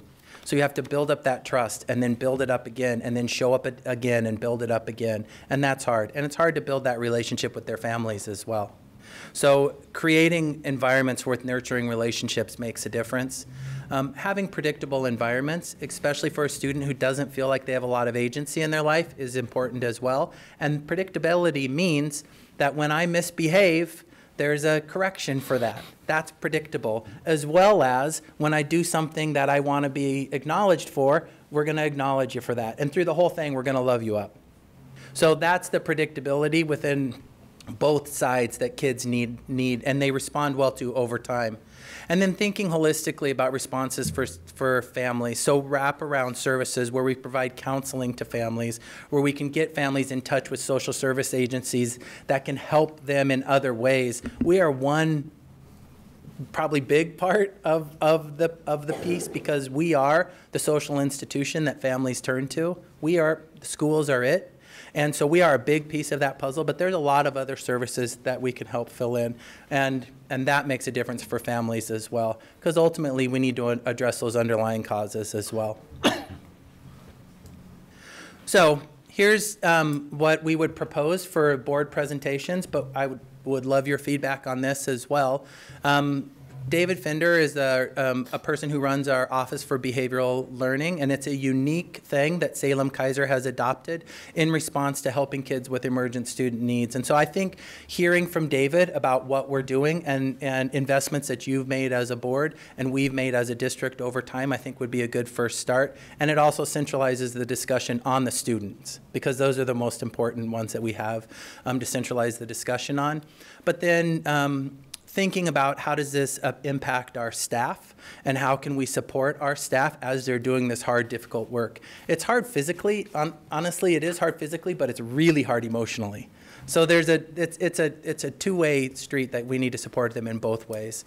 Um, I'd also like to present to you a couple case studies around the districts of, of schools that are doing a really good job and they're they're working in situations with families that are in crisis at times and doing a good job. And so I'd like to present a couple case studies, um, and then ultimately we'll have a discussion about what are our next steps. The kind of what do we do with this information. Any questions? Director Heyen. I just want to say I really appreciate the information, and I look forward to getting uh, the rest of the presentations because it, it's an issue I'm hearing about a lot from a lot of different places, and I, I know it's a big problem. Director Green? I think one of the things, uh, Craig, thanks, you know, the social emotional well-being of our students and our staff is at a breaking point in some instances. And I think one of the things we can do as next steps as a district, and I mentioned it several months ago at a meeting, is look at our budget and hopefully we can reallocate some resources within our budget for not only academic counselors but our mental health counselors. We've had several incidents across this district of not only students but staff that I think we need to take a look at. And um, I've said this before, and I'll say it again. I'm hoping we can budget some priorities into our budget for this upcoming year to address this issue because I don't want to lose any more kids or any more staff. Yeah. Other comments? One quick one. Director Blasi? So you mentioned the uh, legislative um, group that was traveling across the state. Um, Christy and I had the opportunity to go and share, and and it was just heartbreaking to hear over and over and over for, from the Mid Willamette Valley area. But I did hear um, leadership from the legislative team that was out um, last week at the um, um, business summit again, uh, because the governor presented her budget, and as we all know, you know she's um, looking for a huge increase in funds for K through 12. But the leadership from that team are planning to um, release their recommendations to the legislature later this week, is my understanding, uh, because we have legislative days starting tomorrow, and they're going to be making funding recommendations. And of course, they said that um, it's a huge ask, but I got the sense that legislative leadership is uh, making it a priority. Because, like you said, what they heard over and over again, and when they went into the schools and talked to elementary school students and middle school students, they're fearful of um, not having access to mental health. And the fact that a middle schooler knows to say, I need access to mental health and I don't have it, um, but they listened. I, I, I truly think the legislature listened, and um, I know they're going to have a big ask, but it is a priority. And so, like Jim said, it needs to be a priority for us as well. I don't know if there's going to be, you know, a proposal or a legislative fix for um, behavioral health dollars or whatever it might be, but we can make it a priority. So I really, really appreciate this information because, like Marty said, we're obviously hearing about this a lot in the impact. So thank you for doing this work and for sharing it with us. Could I comment on just one thing that you said that I think it's important? Um, this isn't a, just having money at the table with this issue. We need to have a plan on how what we think is our theory of action to best use that money and a framework. And and Director Green, that's why we're trying to start this a little bit, get this process started early, because um, we we, we need to have what we think are action steps, how we're going to measure the impact of that over time, and then to be able to move forward. So that's what we're hoping, those are the conversations we're hoping to have. That's good. And just to follow up to that, we did ask, Alice sent out um, an invite to our budget committee to be aware of these presentations so that they either um, have the agenda packet or they tune in and they get to hear these presentations. So when we, um, you know, convene the budget committee, that they're in the loop in all of, of all of this. Director Lippold? I would like to say that I, I really appreciate the comments from Blasi and Green, I, um, Directors Blasi and Director Green. Um, I, I think it's a lot of very true statements. I mean, as much as I would love to uh, have the legislature pass something really good, I, I don't like depending on them. And so uh, I think there's a lot of actions that we could take. Um, I think you're right. I think setting, uh, making our own goals that are measurable, um, so that way we can actually change something, as well as putting our money where our mouth is. Um, I think if we do both of those, we can actually take steps because we can't lose any more kids, um, and or any staff for that matter as well. And so, um, taking ownership over this, I think, is going to be really important in the future. Thank you. Other comments? Uh, We're going to move into, uh, in your packet, I want to call attention to the fact that there's board, board and budget committee meeting schedules at the back if you're interested in partaking of those. And I want you to notice the January 8th board meeting has been rescheduled for January 15. And the last one, boundary review task meeting schedule is also in the back of your packet. So we urge you to participate in all of those. Uh, We move into public comment next, and this section of public comment is for, um, for uh, those that, for items that are not on our regular budget. Uh, First one on our list is Shannon, Shannon Johns. And I apologize that we're running later this That's evening, right. but thanks for holding on. I have most of a scarf done, so we're good. Um, uh, Thank you for letting me come. The reason that I came tonight, it was a bonus that I got to talk about my oldest daughter, who goes to Howard Street, but the reason I came tonight was to talk about what's happening in my younger daughter's class at Yoshikai. Um, My name's Shannon Johns, and I live at 4056 Marcus Court, Northeast Salem, Oregon, 97305. I forgot to do that last time. Um, Craig's presentation very much describes what's happening in my daughter's class. I would love to say that the biggest issue in her class is that there are 31 kids in her kindergarten class.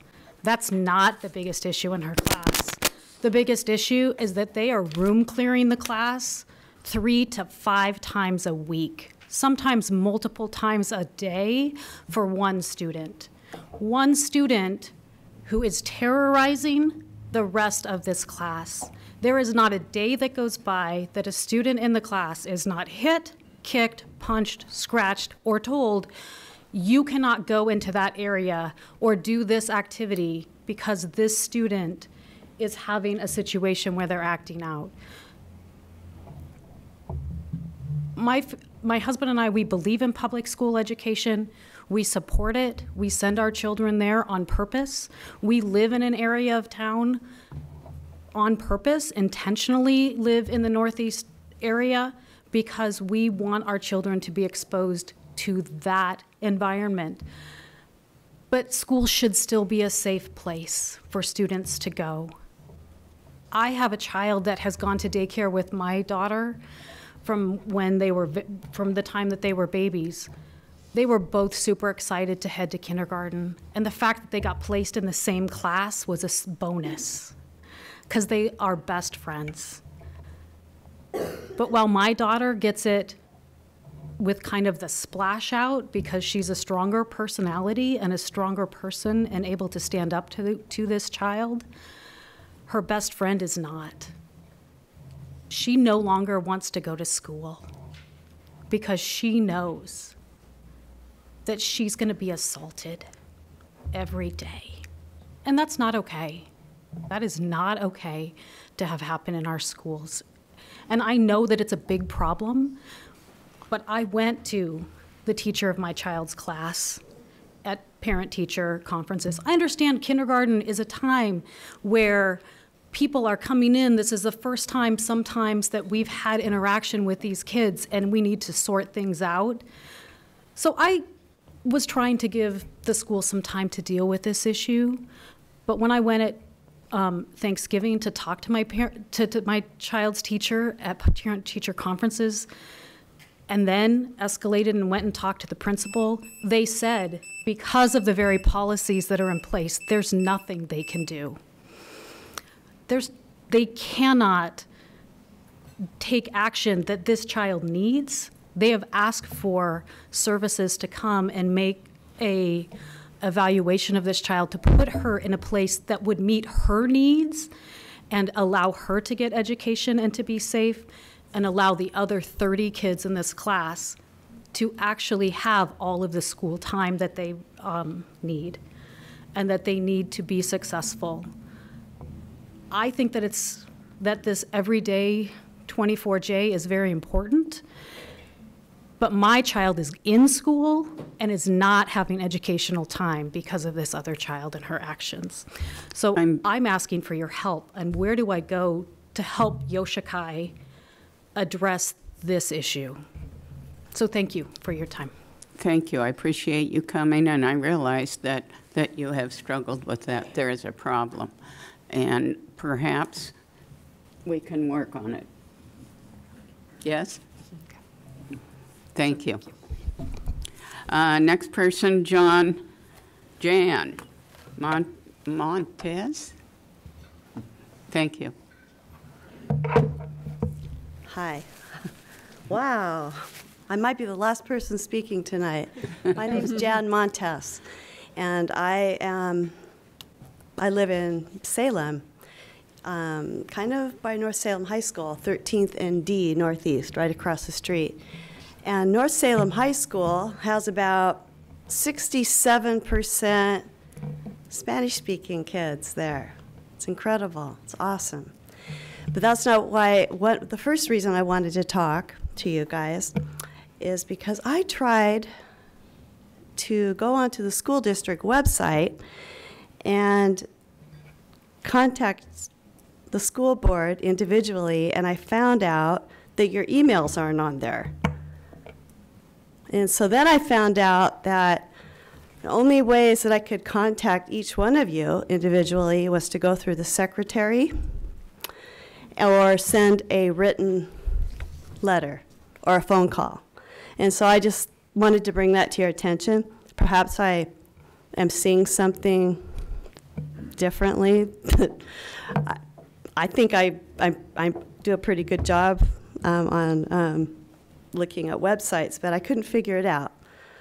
Are you guys aware of that?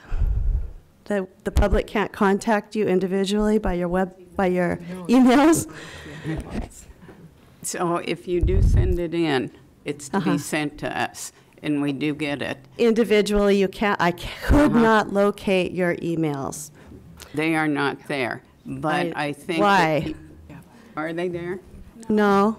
The, the pattern's there. Yeah, part. Patterns there? Yeah. Okay, well, if I can't, as a educated woman, find that, maybe we need to work on that a little bit. But the reason I wanted to send you guys some emails, because uh, I have one more minute left, so I'm going to get to the point. Salem Keizer School District has about half and half Spanish-speaking students and English-speaking students. It's about half and half. Let's just say half and half, okay? I have a, a very strong background in um, the knowledge of why dual language is extremely important. And I wanted to go ahead and share some of my thoughts on that. Some of my background is that I, um, I was an educator uh, working with, with programs during the free trade agreement in Mexico and the United States. And I was a substitute teacher here in some of the dual language um, classrooms.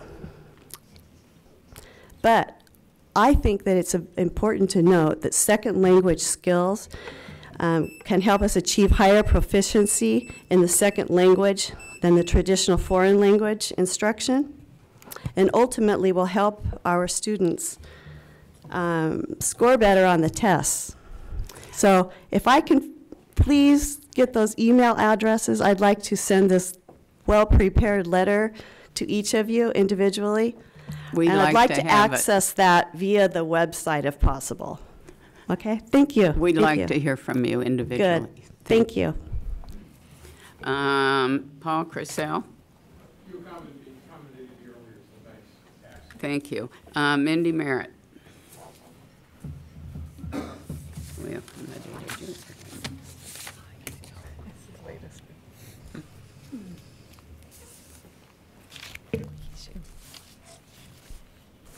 Of course, it just shifted off. Sorry about that. All right, good evening. Um, My name is Mindy Merritt, and I'm here tonight speaking as the president of Salem Keizer Education Association.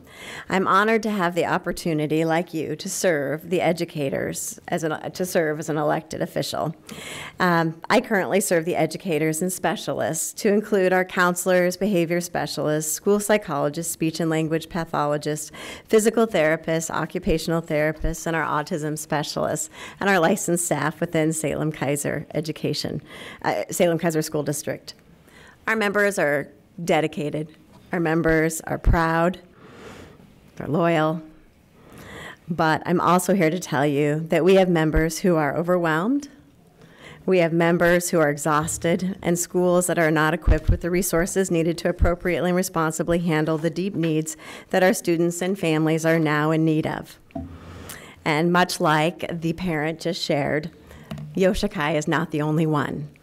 One of the privileges of my job is to be able to go to the many different schools, and it is not um, unlike just Yoshikai.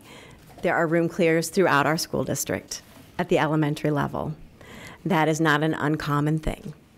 There are um, class, there are meetings that are being held that we have specialists that are asking for additional supports, and they're being told no, that the funding isn't there, that they need to look within their school for the additional um, thinking out of the box and looking for how they can solve it together. Um, we have schools that are in need, that are being told, I'm sorry, you just have to find a way. We need to recognize that the new systems placed to add the trauma our students are facing have added to an increased workload that goes beyond the contract day for many of our employees. Our high school counselors are often staying, especially right now. We have one high school that is staying well beyond their contract day. As um, John Van Drill shared, the new um, SRAs, uh, the uh, suicide response um, the assessments that they're doing, they are taking anywhere from two at the least up to five hours per student. And um, that's taking anywhere from their full day up to if they have four or five students that are thinking about it, it's going well beyond. So it's really important to recognize this is dominating our high school counselors, their time, and taking away from the students that are at our high schools ability to work with their counselors as advisors. Talk to them about everyday high school needs. And I think it's really important for us to realize, Dr. Director Green, I appreciate your foresight and acknowledgement into the need for and care deeply for our students, their profession, and our community, and recognizing we're going to be needing to budget for and talk about how we fund and support the social emotional needs for our students, especially in this upcoming year. Thank you. Thank you for coming. That brings us to the end of our public comment. Um, We move on to board activity report, and I'm going to ask that each one of us kind of move on, one, one or whatever. Director Green? Okay. Okay. Uh, Mr. Lippold? Sorry, it's been a busy night. My whole brain just flogged up. Um, I'm, I'm sure I did a lot of things. Uh, I mentor a student out at Harritt. Uh, Harritt, I was just out there today. That was a blast. We played some football with some kids. It was fun. Um, also went to the boundary meeting at um, in Keizer at Kennedy. Uh, that was a blast. There was, there was a lot of really good feedback from our community members. It was awesome being able to hear uh, their thoughts on the McKay slash West feeder systems. Um, so I heard, listened a lot about that. And yeah, it's been a good month. Thank you. Director Van?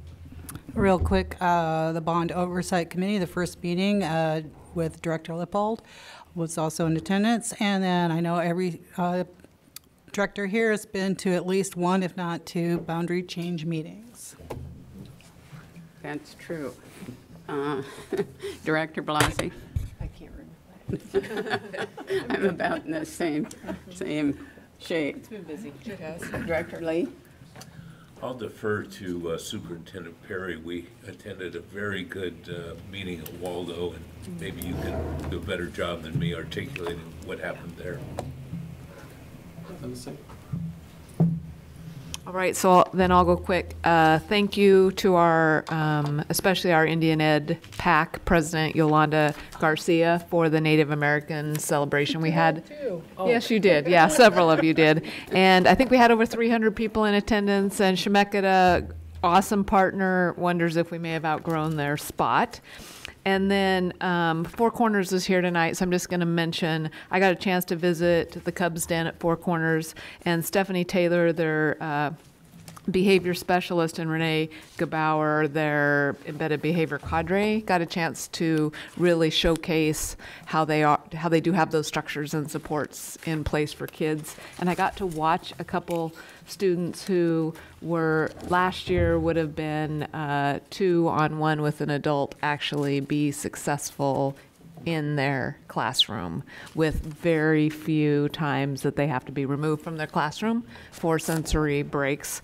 Um, so that's a great highlight. And then um, Waldo Middle School, the faith leaders went to Waldo Middle School. We're doing traveling around to different schools. And at Waldo, we got a chance to hear from our students in our newcomer center.